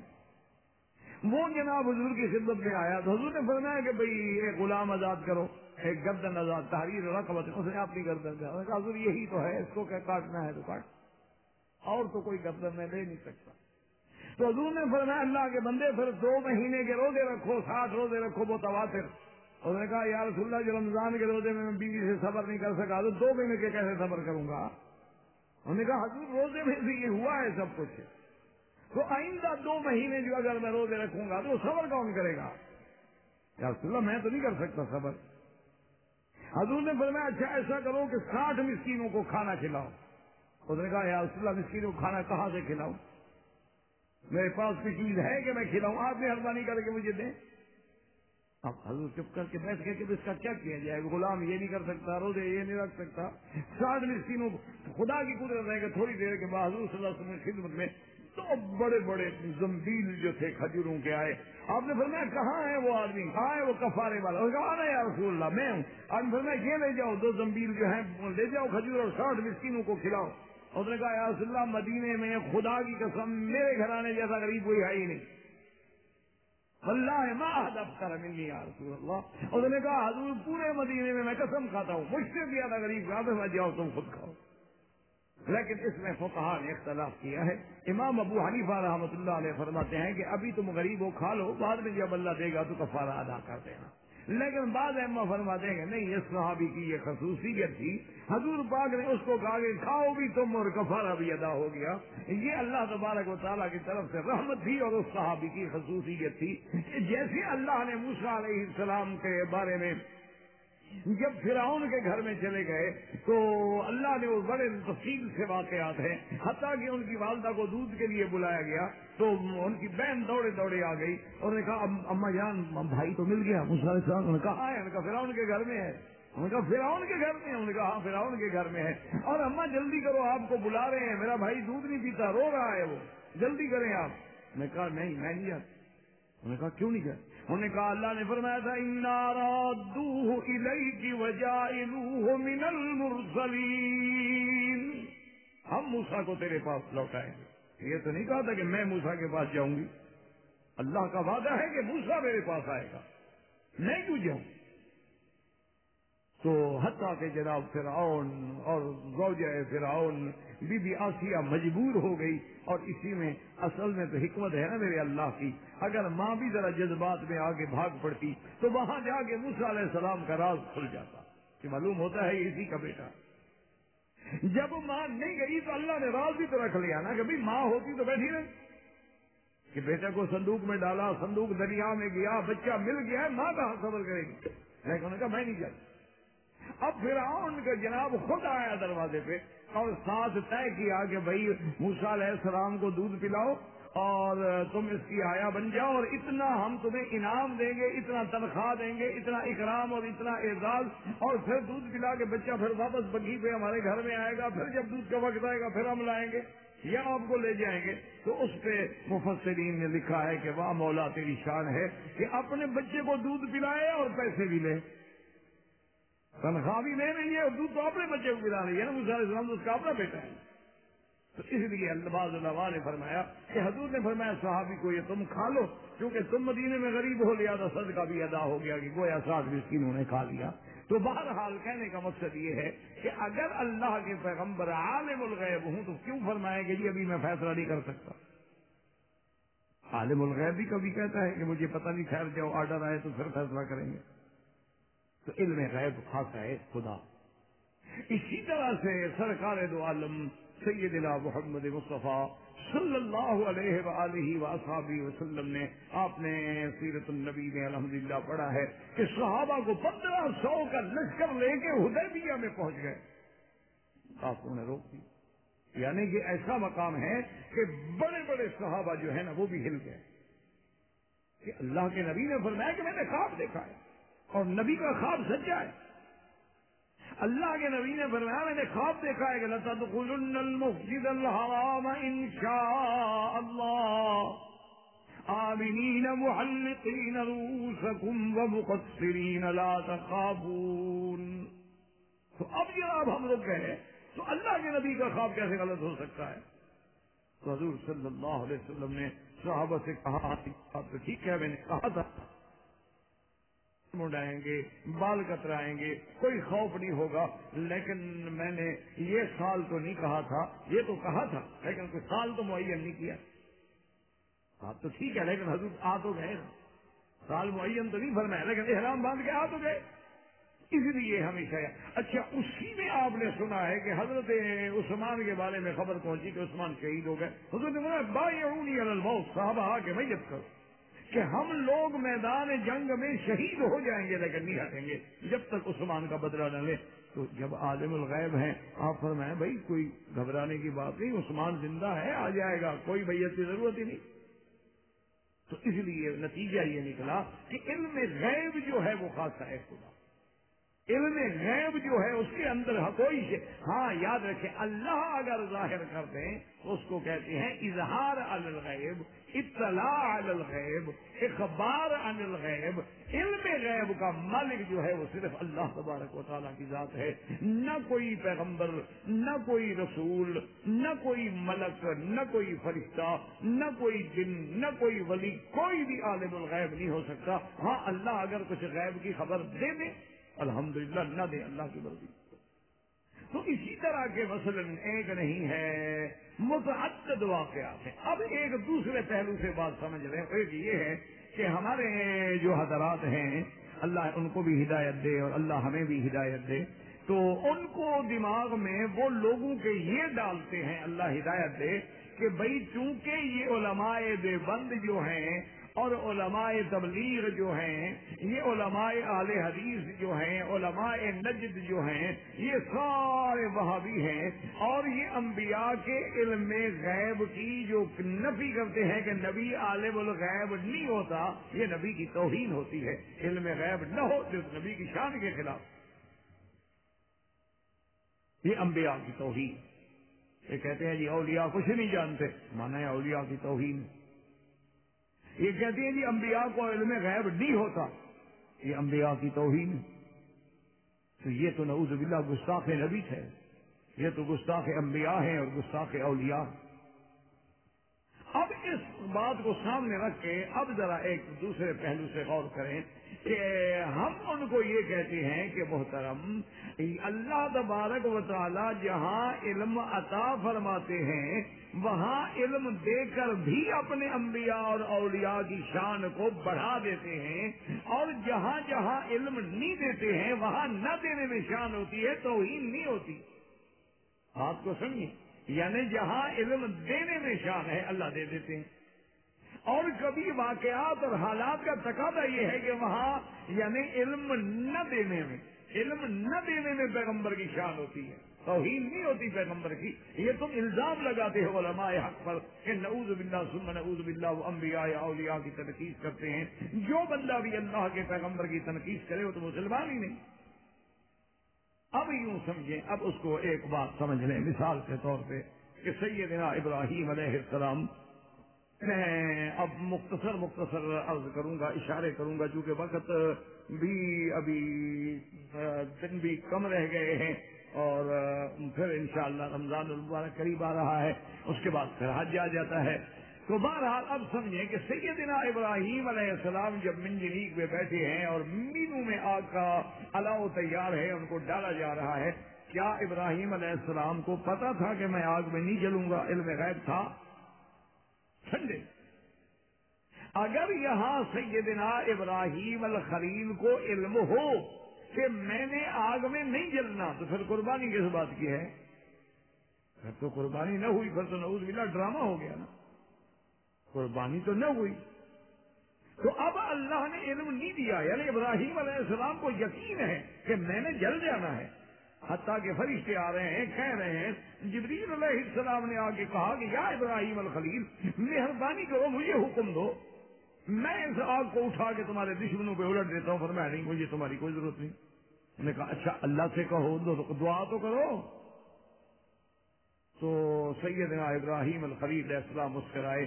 اور کہا کہ جبریل ایک بات بتاؤ کہ اللہ کو پتا ہے یہ آگ جلی ہوئی ہے اور مجھے ڈال رہے ہیں؟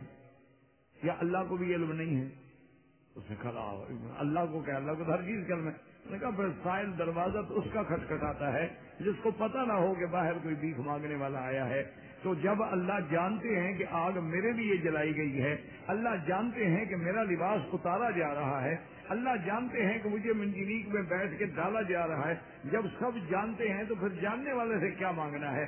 اگر وہ جلانے پہ راضی ہیں، ہم جلنے پہ راضی ہیں، وہ ٹھیک ہے۔ تو اب دیکھیں کہ اللہ نے علم نہیں دیا۔ اگر علم ہو تو پھر شان نہیں بنتی۔ پھر تو نعوذ باللہ، اللہ معاف کرے، اللہ معاف کرے، پھر تو ڈرامہ ہو گیا۔ مجھے بھی پتا ہو کہ میں اس آگ میں چھلانگ لگاؤں گا لیکن نہیں جلوں گا۔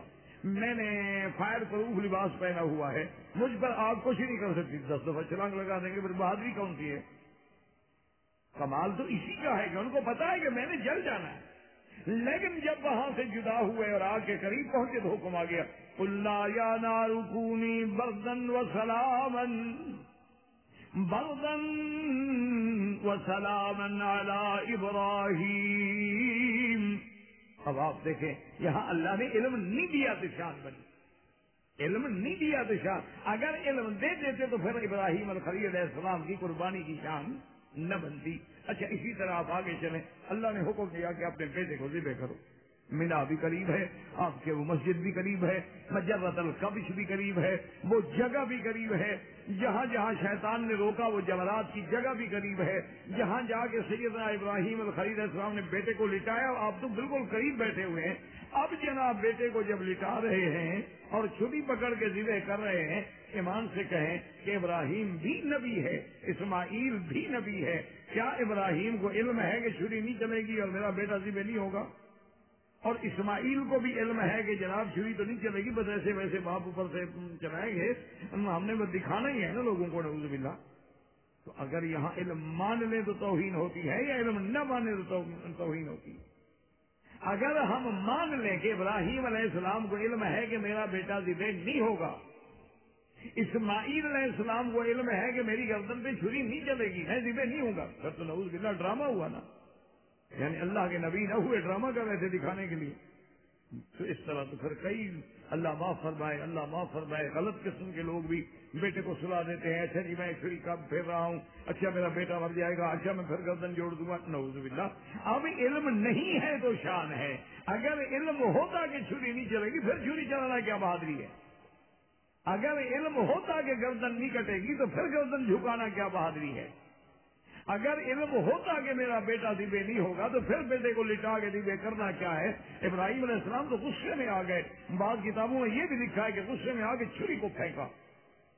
غصے میں آگے چھری کو پھینکا، جلال میں آ گئے۔ ہر چمنی جلدی ہو تو آواز آئی کہ یا ابراہیم الخلیل۔ خلیل کیوں غصے ہوتے ہو؟ تم کہتے ہو چل، لیکن مالک حکم دیتا ہے، لیکن نہیں چل تو میں کیا کر سکتی میں کیسے چل سکتی تو یہاں اللہ نے علم نہیں دیا، لیکن ابراہیم کی شان بھی بڑھ گئی اور اسماعیل علیہ السلام کی شان بھی بڑھ گئی۔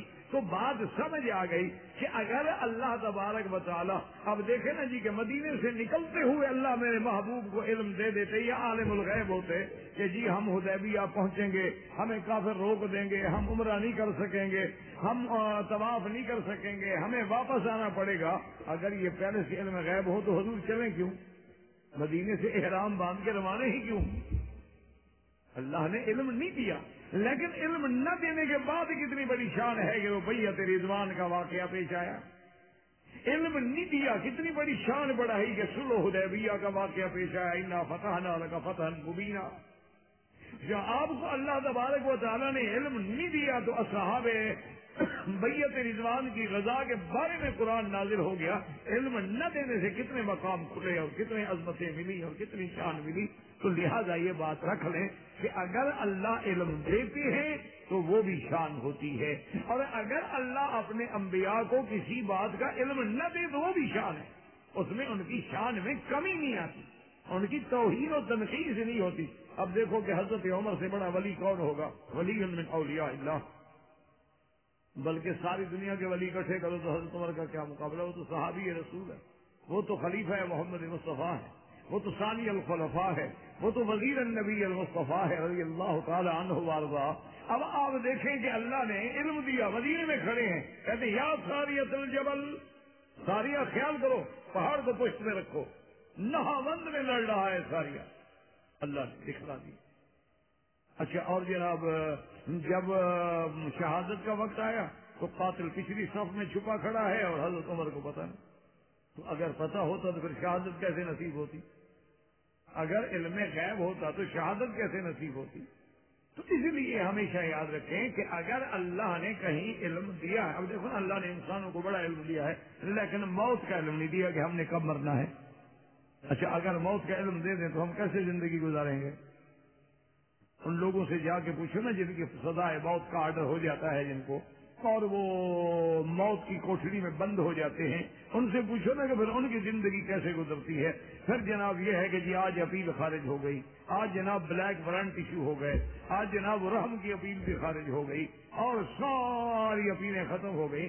اب وہ جناب پتا ہوتا ہے کہ میں نے دو دن کے بعد جو ہے پھانسی پہ چڑھ جانا ہے۔ اس سے جا کے پوچھو، اس کا انٹرویو کرو نا یہ دو دن تمہارے کیسے گزرے۔ تو اللہ نے ہمیں علم نہیں دیا کہ کہاں مرنا ہے۔ ہر آدمی اپنے کام میں لگا ہوا ہے، کام کر رہا ہے، زمیندار ہے، ڈاکٹر ہے، ملازم ہے صنعت کار ہے، تاجر ہے۔ ہر آدمی اپنے اپنے اعمال میں، کار میں لگا ہے اور جب موت آئے گی، آ جائے گی۔ ورنہ اگر پتا ہوتا تو نظام عالم درہم برہم ہو جاتا۔ کوئی کام نہ ہوتا دنیا میں۔ اس لیے اگر اللہ علم دیتے ہیں، تب بھی شان ہوتی ہے۔ اور اگر اللہ علم نہیں دیتے ہیں، تب بھی شان ہوتی ہے۔ اصل علم غیب خاصہ خدا ہے بخاصت اس کے الایو جدفی رہ رہی اور اس میں اس کا کوئی شریک نہیں ہے۔ علم غیب، عالم الغیب و شہادہ، علم محیط، کہ احاطہ کل سے ان علما۔ ذرے ذرے کو اللہ تبارک و تعالیٰ کے علم میں ہے۔ اللہ الغیوب، علیم بذات الصدور، اور یہ ساری صفتیں جو ہے وہ صرف میرے اللہ کی ذات۔ اب اس پہلو کو الحمدللہ صبح الحمدللہ اب جناب دوسری بات سنیں کہ وہ حضرات جو یہ عقیدہ رکھتے ہیں کہ علم غیب انبیاء کو بھی ہے اور اولیاء اللہ کو بھی ہے اور وہ کہتے ہیں کہ ذرے ذرے کا علم ہے۔ وہ کہتے ہیں کہ انبیاء علیہ السلام جو ہے عالم الغیب ہیں، علم غیب ہے اور کلی جزی تمام کوئی چیز آپ سے چھپی غیب ہے ہی نہیں۔ تو ان کی دلیل کیا ہے؟ میں یہ چاہتا ہوں کہ آپ آپ ان کے بھی تو دلائل سنیں نا کہ آخر ان کو کیا ہو گیا ہے۔ لیکن ایک بات یاد رکھیں کہ یا تو اللہ عالم، اللہ تبارک و تعالیٰ کی جب ناراضگی ہو تو حق سمجھ لیا۔ اللہ عقل چھین لیتے ہیں۔ اسی لیے علماء نے لکھا ہے کہ جب آدمی کوئی غلط کام کرتا ہے، کوئی گناہ کا کام کرتا ہے، اللہ کی نافرمانی کرتا ہے، تو اللہ تبارک و تعالیٰ اسے سب سے پہلے اس کی عقل چھین لیتے اللہ کے قرآن میں موجود ہے کہ سب سے پہلے قابیب نے اپنے بھائی حابیب کو قتل کیا۔ کر دیا۔ بڑا لمبا واقعہ ہے۔ قتل کرنے کے بعد اب جب بھائی کو مار دیا، اب مسئلہ پیدا ہو گیا کہ بھائی کو لاش کدھر کروں۔ قتل تو کر دیا۔ اب پریشان ہے کہ جی لاش کہاں لے جائے بیٹھا ہے اور کر رہا ہے۔ اتنی آج اسی اسنا میں دیکھا کہ کبے آئے دیکھا تو ایک کبا جو ہے، مرا پڑا ہے۔ اور باقی کوے کٹھے ہو گئے کہاں کہاں کہاں کہاں کر رہے ہیں، سارے سر کٹھے ہوئے ہیں۔ اور کچھ کوے جو ہے نا، ساتھ کچی سی جگہ ہے، تو اس کو اپنے پاؤں سے، کوئی اپنے چونچ سے جناب اس کی مٹی نکال رہے ہیں۔ اور تھوڑی دیر کے بعد وہ اپنے مردہ کوے کو پکڑ کے اس میں دبا رہے ہیں، اس کے اوپر مٹی دے رہے ہیں۔ تو اس کے بعد اس کو عقل آئی اور کہنے لگا، ہائے کاش کہ ان اکون مثل هذا الغراب، فاواری سوءت اخی، فاصبح من النادمین۔ کہ کاش مجھے تو اس کوے کے برابر بھی عقل نہیں۔ اگر اتنی عقل ہوتی تو میں بھی اپنے بھائی کو میری گڑے میں ڈال کے مٹی ڈال دوں وجہ کیا ہے کہ عقل سے۔ تو جن لوگوں نے یہ غلط عقائد بنائے ہیں کہ انبیاء عالم الغیب ہیں، ائمہ جو ہیں وہ بھی عالم الغیب ہیں، اور اولیاء اللہ جو ہے وہ بھی عالم الغیب ہیں، تو اب اس کے بارے میں یا تو یہ ہے کہ انہوں نے کوئی ایسی غلطی کی، اللہ ناراض ہوئے اور اس کے بعد وہ بات کو سمجھ نہیں رہے اور اسی غلطی سے چلے جا رہے۔ ہوتا ہے نا جی انسان سے غلطیاں ہوتی ہیں۔ بہت سارے لوگوں نے اپنے اپنے دور میں کافروں کی امداد کی، مسلمانوں کے خلاف، انگریزوں کی امداد کی، کافروں کی امداد کی۔ مرزا غلام محمد قادیانی نے کچھ کتنی، کہتا ہے کہ میرے پاس الماریاں بھری ہوئی ہیں جو میں نے انگریز کی تعریف میں، سرکار کی تعریف میں اور انگریز کی خدمات ادا کرنے میں کتابیں لکھی ہیں۔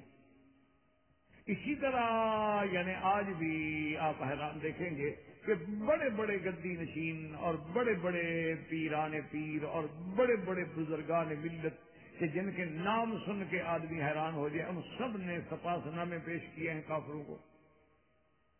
یا تو یہ وجہ ہو گئی کہ اللہ ناراض ہو گئے کہ میرے مقابلے پر این تم علماء ہو کے، پیران الزام ہو کے مشاعر کے کرام ہو کے تم لوگوں نے کفر کو ترجیح دی ہے، تو اس لیے پھر ان کو ٹھوکنے لگی عقیدے میں۔ یا یہ ہے کہ اپنے اس مقام کو قائم رکھنے کے لیے کہ بھی چشم عالم کو کور رہنے دے اور ہماری پیری میں زور رہنے دے، اس زور کو رکھنے کے لیے پھر انہوں نے علماء سو پیدا کیے۔ انہوں نے اللہ کے قرآن کو بدل بدل کے ان کو سنایا کہ جناب بالکل سبحان اللہ، آپ تو ہمارے مرشد ہیں، آپ پیر ہیں، آپ سے بھی کوئی چیز چھپی ہوئی۔ اس کا نتیجہ یہ نکلا کہ پورے عالم میں کرپشن پھیل گئی۔ کہ اسی لیے آپ نے دیکھا ہوگا کہ پیر جب بھی آئے گا لوگ گھر لے جائیں گے، کوئی پردہ نہیں۔ کیوں؟ پیر سے بھی کوئی چیز چھپی ہوئی ہے۔ جب پیر کے سامنے ہر چیز ہے تو پھر اس سے پردہ کیا مطلب؟ پردہ تو کرو مولوی سے، جس کو کوئی پتہ نہیں ہوتا۔ جیسے آج کل دیکھا ہے نا، آپ نے عام طور پہ عورتیں کو داڑھی والا گزرے تو پردہ کر لیتی ہے بغیر داڑھی والے سے کوئی پردہ نہیں کرتی۔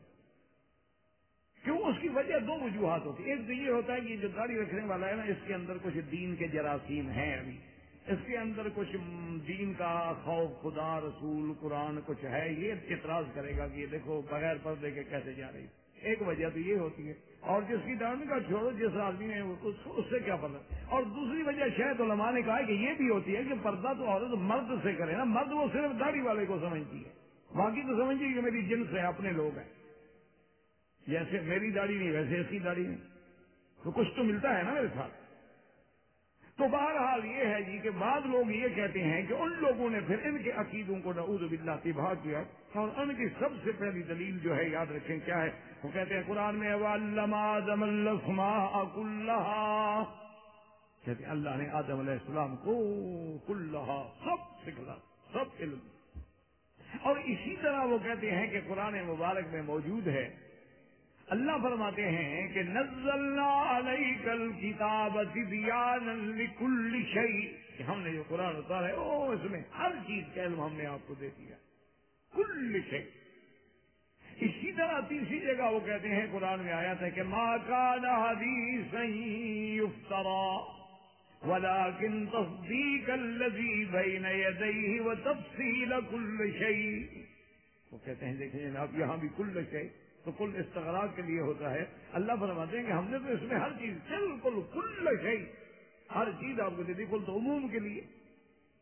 اسی طرح وہ کہتے ہیں کہ قرآن میں ہے، ما فرتنا فل کتاب منشئی ہم نے کوئی چیز ایسی نہیں جو کتاب میں نہ بیان کی ہو، کوئی چیز۔ تو جب اللہ نے قرآن کا علم دے دیا، اللہ نے اپنے نبی پہ قرآن نازل کر دیا، اور قرآن میں ہر چیز کا علم موجود ہے، ہر چیز موجود ہے، اور حضور صلی اللہ علیہ وسلم کے لیے لفظ آ گیا، کل شے طبیان کل شے وہ کہتے ہیں کہ جب کل ہو اور شے ہو تو مانا یہ ہوتا ہے کہ اب تو کوئی چیز باقی بچی نہیں جس کا علم نہ ہو۔ تو انہوں نے لفظ کل، چونکہ عموم کے لیے ہوتا ہے، جیسے کل کل شہی جیسے آج بھی آپ عرب میں رہتے ہیں ماشاء اللہ جن جی کہے گا دادا ہاں کل شے شیل کل شے سب کچھ لے لو۔ وہ کہتے ہیں کہ کل شے جب آ گیا، تو اس کا معنی یہ ہے کہ تو سارے علم آ گئے۔ پھر ایک فرق وہ کہتے ہیں، یہ ہے کہ اللہ کا علم ذاتی ہے۔ اللہ کا علم ذاتی ہے، بات کو سمجھے اچھی طرح۔ اور انبیاء اور اولیاء کا علم جو ہے، یہ عطائی ہے۔ عطائی کیا مانا یعنی اللہ نے دے دیا، لیکن دے دیا ہے۔ اب یہ نہیں کہ علم نہ ہو۔ یعنی اب ان کے بعد یہ عالم الغیب ہے ذرے ذرے کا علم ہے کلی جزی کا علم ہے، کانا ماں کانا پور کا علم ہے، لیکن فرق صرف اتنا ہے کہ اللہ کا علم ذاتی ہے اور انبیاء اولیاء کا علم عطائی ہے یعنی اللہ نے ان کو عطا کر دیا ہے۔ وہ کہتے ہیں، جناب، شرک تو تب ہو جب ہم اللہ کے ذاتی علم میں شریک کریں۔ اللہ کے ذاتی علم میں تو ہم بھی کہتے ہیں کوئی شریک نہیں۔ لیکن اللہ نے ان کو جو علم دیا ہے، یہ تو عطائی ہے، یہ ذاتی تو ہے ہی نہیں۔ تو جب یہ عطائی ہے، تو پھر اس میں شرک کیسے ہو گیا؟ یہ بالکل وہی بات ہے، اللہ معاف کرے۔ جیسے مرزا غلام احمد قادیانی کہتا ہے، وہ کہتا ہے، خدا کے بندے، محمد مصطفیٰ خاتم النبیین ہیں۔ خاتم الانبیاء ہیں، خاتم المرسلین ہیں، خاتم النبیین ہیں۔ بھئی تم کیا ہو؟ وہ کہتا ہے، کمال کرتے یار، میں تو حضور کا دل ہوں بروز ہوں۔ جیسے ہر بندے کا ایک سایہ ہوتا ہے، تو بندہ تو بندہ ہے، سایہ سایہ ہے۔ میں تو حضور کا گویا سایہ ہوں۔ تو اسی لیے وہ کہتا ہے نا کہ میری نبوت جو ہے، وہ کہتا ہے کہ اب خاتم النبیین کا کیا مانا مہر والے نبی۔ کہ جن کو اللہ نے نبوت کی ختم کی، مہر عطا کر دی تھی۔ کہ جس کو مہر لگا دے وہ بھی نبی۔ اور جس نے اطاعت کی، میں نے چونکہ حضور کی اطاعت کی دیا تھا، مجھے بھی مہر لگ گئی، میں نبی بن گیا۔ لیکن میں اصلی نبی نہیں، میں ذلی نبی ہوں، ذلی ہوں بروزی ہوں۔ چھایا ہوں ان کا۔ اچھا ہے عجیب آدمی کبھی کبھی تو کیونکہ دروگ گورا حافظہ کبھی کہتا ہے کہ نہیں نہیں، اصل بات یہ ہے کہ میں مہدی ہوں۔ جب لوگوں نے پکڑا، انہوں نے کہا، مہدی جو ہے، اس کا نام تو ہوگا محمد ابن عبداللہ، اور تم ہو غلام احمد۔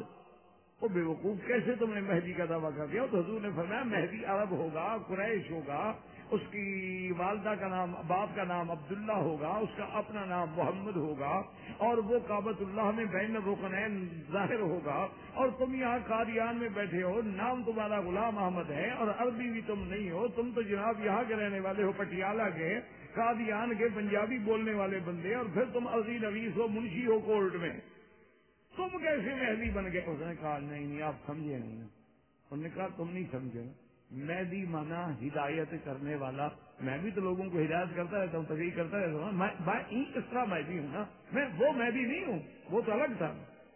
وہ مہدی تو اس نے کہا وہ عرب معلوم ہوگا، لیکن میں بھی تو تقریر کرتا ہوں، ہدایت کرتا ہوں، عیسائیوں کے ساتھ مناظر کر رہا ہوں، تو مہدی ہو گیا۔ لہٰذا میں مہدی ہوں۔ اچھا کچھ عرصہ گزرا اس نے کہا، یار مہدی سے کام نہیں چلتا۔ تو کہنے لگا اچھا من عیسا میں عیسا ہوں۔ انہوں نے کہا کہ جناب آپ عیسا کیسے ہو گئے؟ انہوں نے کہا بس میں پھر دیکھا کہ اس سے بھی کام نہیں چلتا۔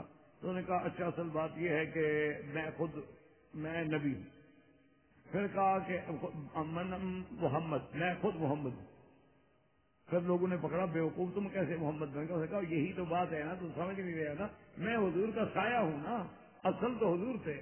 میں تو عطا ہوں نا، وہ ذاتی نبی تھے، میں عطائی ہوں۔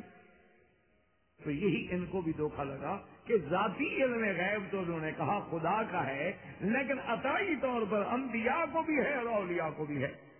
پہلی بات یاد رکھیں، اس کو آسان انشاءاللہ کرنے کے لیے میں آپ کو عرض کر دوں کہ ذاتی عطائی کی تو بحث تب ہو کہ پہلے انبیاء، اولیاء کا اپنا وجود مبارک جو ہے، کیا وہ ذاتی ہے یا عطائی ہے؟ پہلی بات کو سمجھیں۔ دیکھو نا جی مثال کے طور پر کہ یہ کتاب ہے۔ میں کہوں جی یہ میری نہیں، مجھے دی ہے کسی نے۔ ٹھیک۔ لیکن جب میرا وجود ہی خود اس کی عطا ہے، تو پھر میرے ذاتی ہونے کا تو کوئی سوال ہی پیدا نہیں ہو سکتا نا۔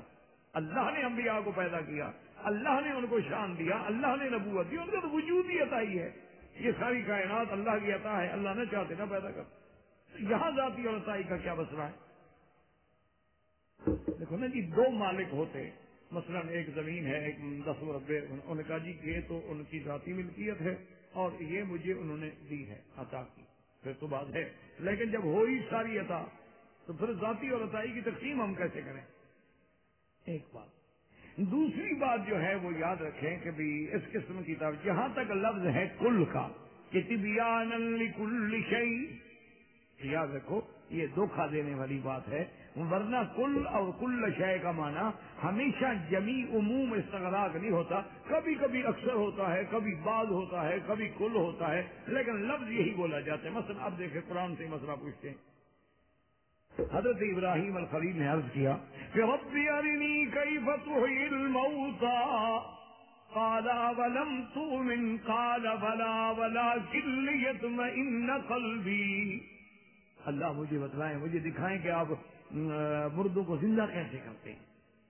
اللہ فرمایا، ابراہیم، تمہیں بات نہیں، تمہیں یقین نہیں کہ میں مردوں کو زندہ کرنے والا ہوں۔ میں اللہ، میرا ایمان ہے، لیکن ایک ہے، میں مانتا ہوں کہ آپ مردوں کو زندہ کرنے والے ہیں۔ ایک، میں مشاہدتاً دیکھ لوں۔ ساری زندگی ہم کہتے تھے جی، جس کے طرف قبلے کے۔ یعنی نماز پڑھتے تھے اچھا جی ہمارا منہ کدھر ہے، قبلے کی طرف، قبلے کی طرف۔ لیکن اب جو قبلہ دیکھ لیا ہے، تو دیکھنے والا، مشاہدے کرنے والا جو ہے معائنہ الگ ہے یہ صرف معلوم ہونا الگ ہے۔ اللہ میاں میں ذرا دیکھنا چاہتا ہوں کہ اپنی آنکھوں سے مشاہدہ کر۔ اللہ ذرا ٹھیک دکھا دیتے فخذ أربعة من الطير فصرهن إليك۔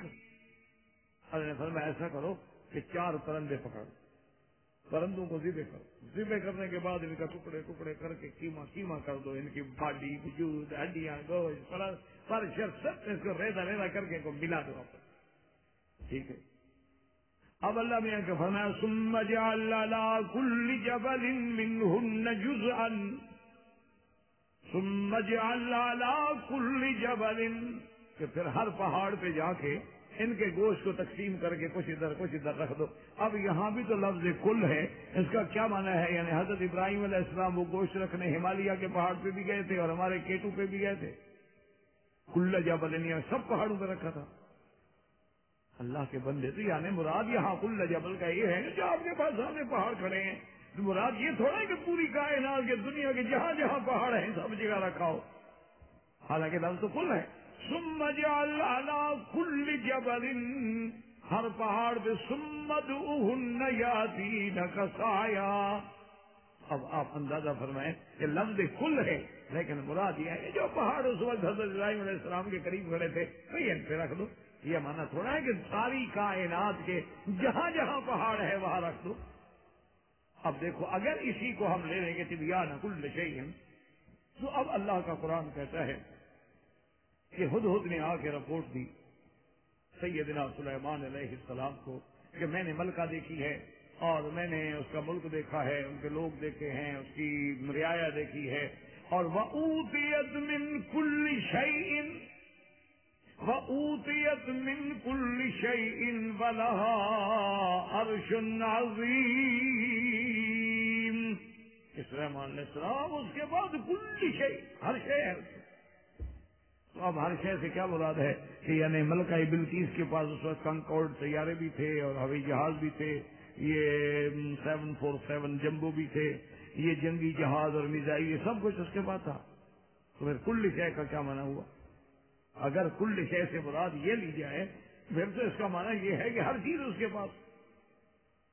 تو مانا یہ ہے کہ جو بادشاہ کو، جو ایک ملکہ کو اس وقت، اس زمانے میں ضروریات ہیں، وہ ہر چیز اس کے پاس ہے۔ تو اس کو کل شے کہہ دیا جاتا ہے۔ اس کا معنی یہ نہیں ہوتا کہ ذرہ ذرہ اس کے پاس ہے اور ہر ہر چیز اس کے پاس ہے اور جو چیزیں اس زمانے میں بنی نہیں تھی وہ بھی اس کے پاس ہے مانا یہ محاورہ ہوتا ہے محاورتن جیسے آپ کہتے ہیں نا جی ماشاء اللہ کمال کی بات ہے جی انہوں نے تو میں نے حضرت جو بھی مانگا نا مجھے، بس جو مانگا حضرت مجھے سب دے دیا۔ اب اس کا معنی کیا ہوتا ہے کہ یعنی آپ نے بچے مانگے، بچے بھی دے دیے۔ بیوی مانگی، وہ بھی دے دی۔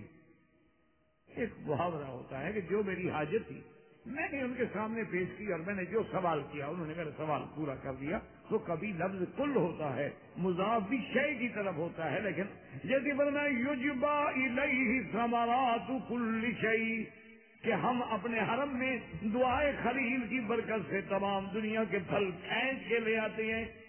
رجوا اچھا بہت سارے پھل جو ہیں، ابھی تک تو ان کا اربوں کو نام بھی نہیں آتے۔ ان بہت سارے پھل انہوں نے دیکھے ہی نہیں۔ بہت سارے پھل دنیا میں ملتے ہیں جو انہوں نے دیکھے نہیں، ابھی تک بھی نہیں دیکھے۔ ان بیچاروں کو نام بھی نہیں آتا۔ یعنی آپ اندازہ کریں کہ آپ کے ہاں ایک نام تو ہے نا، چلو آم۔ اس کو عربی میں کیا کہتے ہیں بتائیں منگا عربی کا لفظ ہے۔ یہ کوئی نئی لغت ہو، آپ کے پاس تو ہو۔ ہمارے پاس جو لغتیں ہیں، جو آج تک ہم نے پڑھی ہیں، ان میں تو کہیں مینگو، یہ تو مینگو کی بگاڑ ہے منگا۔ مینگو تو انگریزی کا لفظ ہے۔ جیسے انہوں نے ناشیو نال بنا دیا، نیشنل کا ٹویو تا بنا دیا تو کا جیسے بھٹو ہوتے ہیں بوٹو تو یہ تو مقصد تو یہ مانا ہے تو یہ تو ایک عربی کا لفظ ہو گیا، عربی کا لفظ تو کوئی نہیں ہے منگا۔ کیونکہ نہ کبھی یہاں آم ہوا، نہ کبھی یہاں آم آیا۔ ان بیچاروں کو کیا پتا کہ آم کس بلا کا نام ہے۔ یہ تو ابھی چند سالوں سے مسئلہ ہے کہ آنا شروع ہوئی اچھا بہت سارے پھل ایسے ہیں، آپ یقین کریں کہ میں آکسفورڈ اسٹریٹ، لنڈن پہ اپنے دوستوں کے ساتھ کہنے لگے جی چلو، اب آپ کو سیر کرائیں۔ اور پھر وہ میری سیر جو ہوتی ہے نا، وہاں رات کے دو بجے ہوتی ہے، جب کوئی نہیں ہوتا وہاں۔ دن کو سیر کرو تو عورتیں ہی دیکھو نا۔ اچھا تو اس لیے میں نے کہا ٹھیک ہے تم اچھا ایک آسپور سیٹ ایسی ہے کہ وہاں پھر بھی کوئی نہ کوئی آپ کو گاہے چائے وائے یہ وہ مل جاتی ہے، کیونکہ ارب حضرات کے وہاں کافی دکانیں ہوتی۔ تو میں نے دیکھا اتنی بڑی کھجور، جناب، ایسی خوبصورت کھجور۔ حالانکہ اب ہم لوگ مکے مدینے میں رہنے والے الحمدللہ جو کھجوروں کا مرکز ہے، لیکن اتنی بڑی اور اتنی خوبصورت میں نے کہا یار یہ کھجور تو ضرور خریدو۔ یہ تو بہت اعلیٰ قسم انہوں نے کہا، حضرت، یہ دیکھنے کی ہے، کھانے کی نہیں ہے، یہ ملک کی طرح بے لذت ہے۔ دیکھنے میں تو بہت اچھی ہے نا، اندر سے اسی طرح بے لذت ہے جیسے ان کے ملک بے لذت ہے۔ کافر باہر بظاہر کتنا خوبصورت ہو، لیکن اندر سے تو اسی طرح بے مزہ ہوتا ہے نا۔ تو انہوں نے کہا کہ جناب یہ آپ نہیں کھا سکیں گے۔ کہا یار مہربانی کرو، لو نے ایک کلو تو لے لیتے ہیں۔ چلو یہ تو کہیں گے ہم نے خریدا تھا۔ یقین کریں اس سے گھاس کھا لیتے نا وہ بہتر تھا۔ میں نے کہا یہ کیا ہے؟ انہوں نے کہا بس یہ اسی طرح ہے۔ انہوں نے کچھ قلم شلم کر کے تو اس کے جین شین بدل کے کھجور کو لمبا تو کر لیا، لیکن اس کے اندر ہے تو کچھ نہیں۔ نا یہ جیسے ابھی جین کے بچے پیدا کریں گے، وہ تو ہو جائے گا کوئی نہ کوئی، الو کا الو کا پٹھا نکل آئے گا۔ لیکن سوال یہ تو نہیں ہوتا کہ وہ احسن تقویم ہوگا۔ وہ احسن تقویم تو کبھی نہیں ہو سکتا نا۔ سوال ہی پیدا نہیں ہوتا۔ آج پوری دنیا کا ڈاکٹر کہتا ہے نا کہ ماں اپنا دودھ پلا کیوں تمہارے ڈبے ختم ہو گئے؟ یہی بات تو اسلام پہلے کہتا تھا کہ ول والدات اولاد اللہ کا قرآن ہے نا۔ چودہ سو سال پہلے محمد عربی فرما رہے ہیں صلی اللہ علیہ وسلم کہ ول والدات اولاد اب والدات جو ہے مائیں جو ہے دودھ پلائیں اپنی اولاد۔ تو اسی لیے اکبر الہ آبادی بھی رو پڑا تھا کہ اس نے کہا تھا نا، کیسے اولاد سے بو آئے ماں باپ کے اتوار کی؟ دودھ ڈبے کا ہے، تعلیم ہے، سرکار کی۔ دودھ ڈبے کا پی کے جوان ہوا ہے۔ اور اپنا، جیسے کسی نے کہا تھا نا کہ دیگوں کے سائے میں ہم پل کر جمع ہوئے ہیں۔ دیگوں نہیں، وہ تو مسلمان تیگوں کے سائے میں پلتے تھے نا۔ ہم دیگوں کے سائے میں پل کر جمع ہوئے ہیں۔ چمچا ہے دیگ والا، قومی نیچا ہمارا۔ جہاں چاول ملے، وہاں چلے جاؤ۔ تو یہ جو ہے نا جی میرے عزیز، تو اب جناب سمجھے کہ یوج با ہی تھا مالا تو کل۔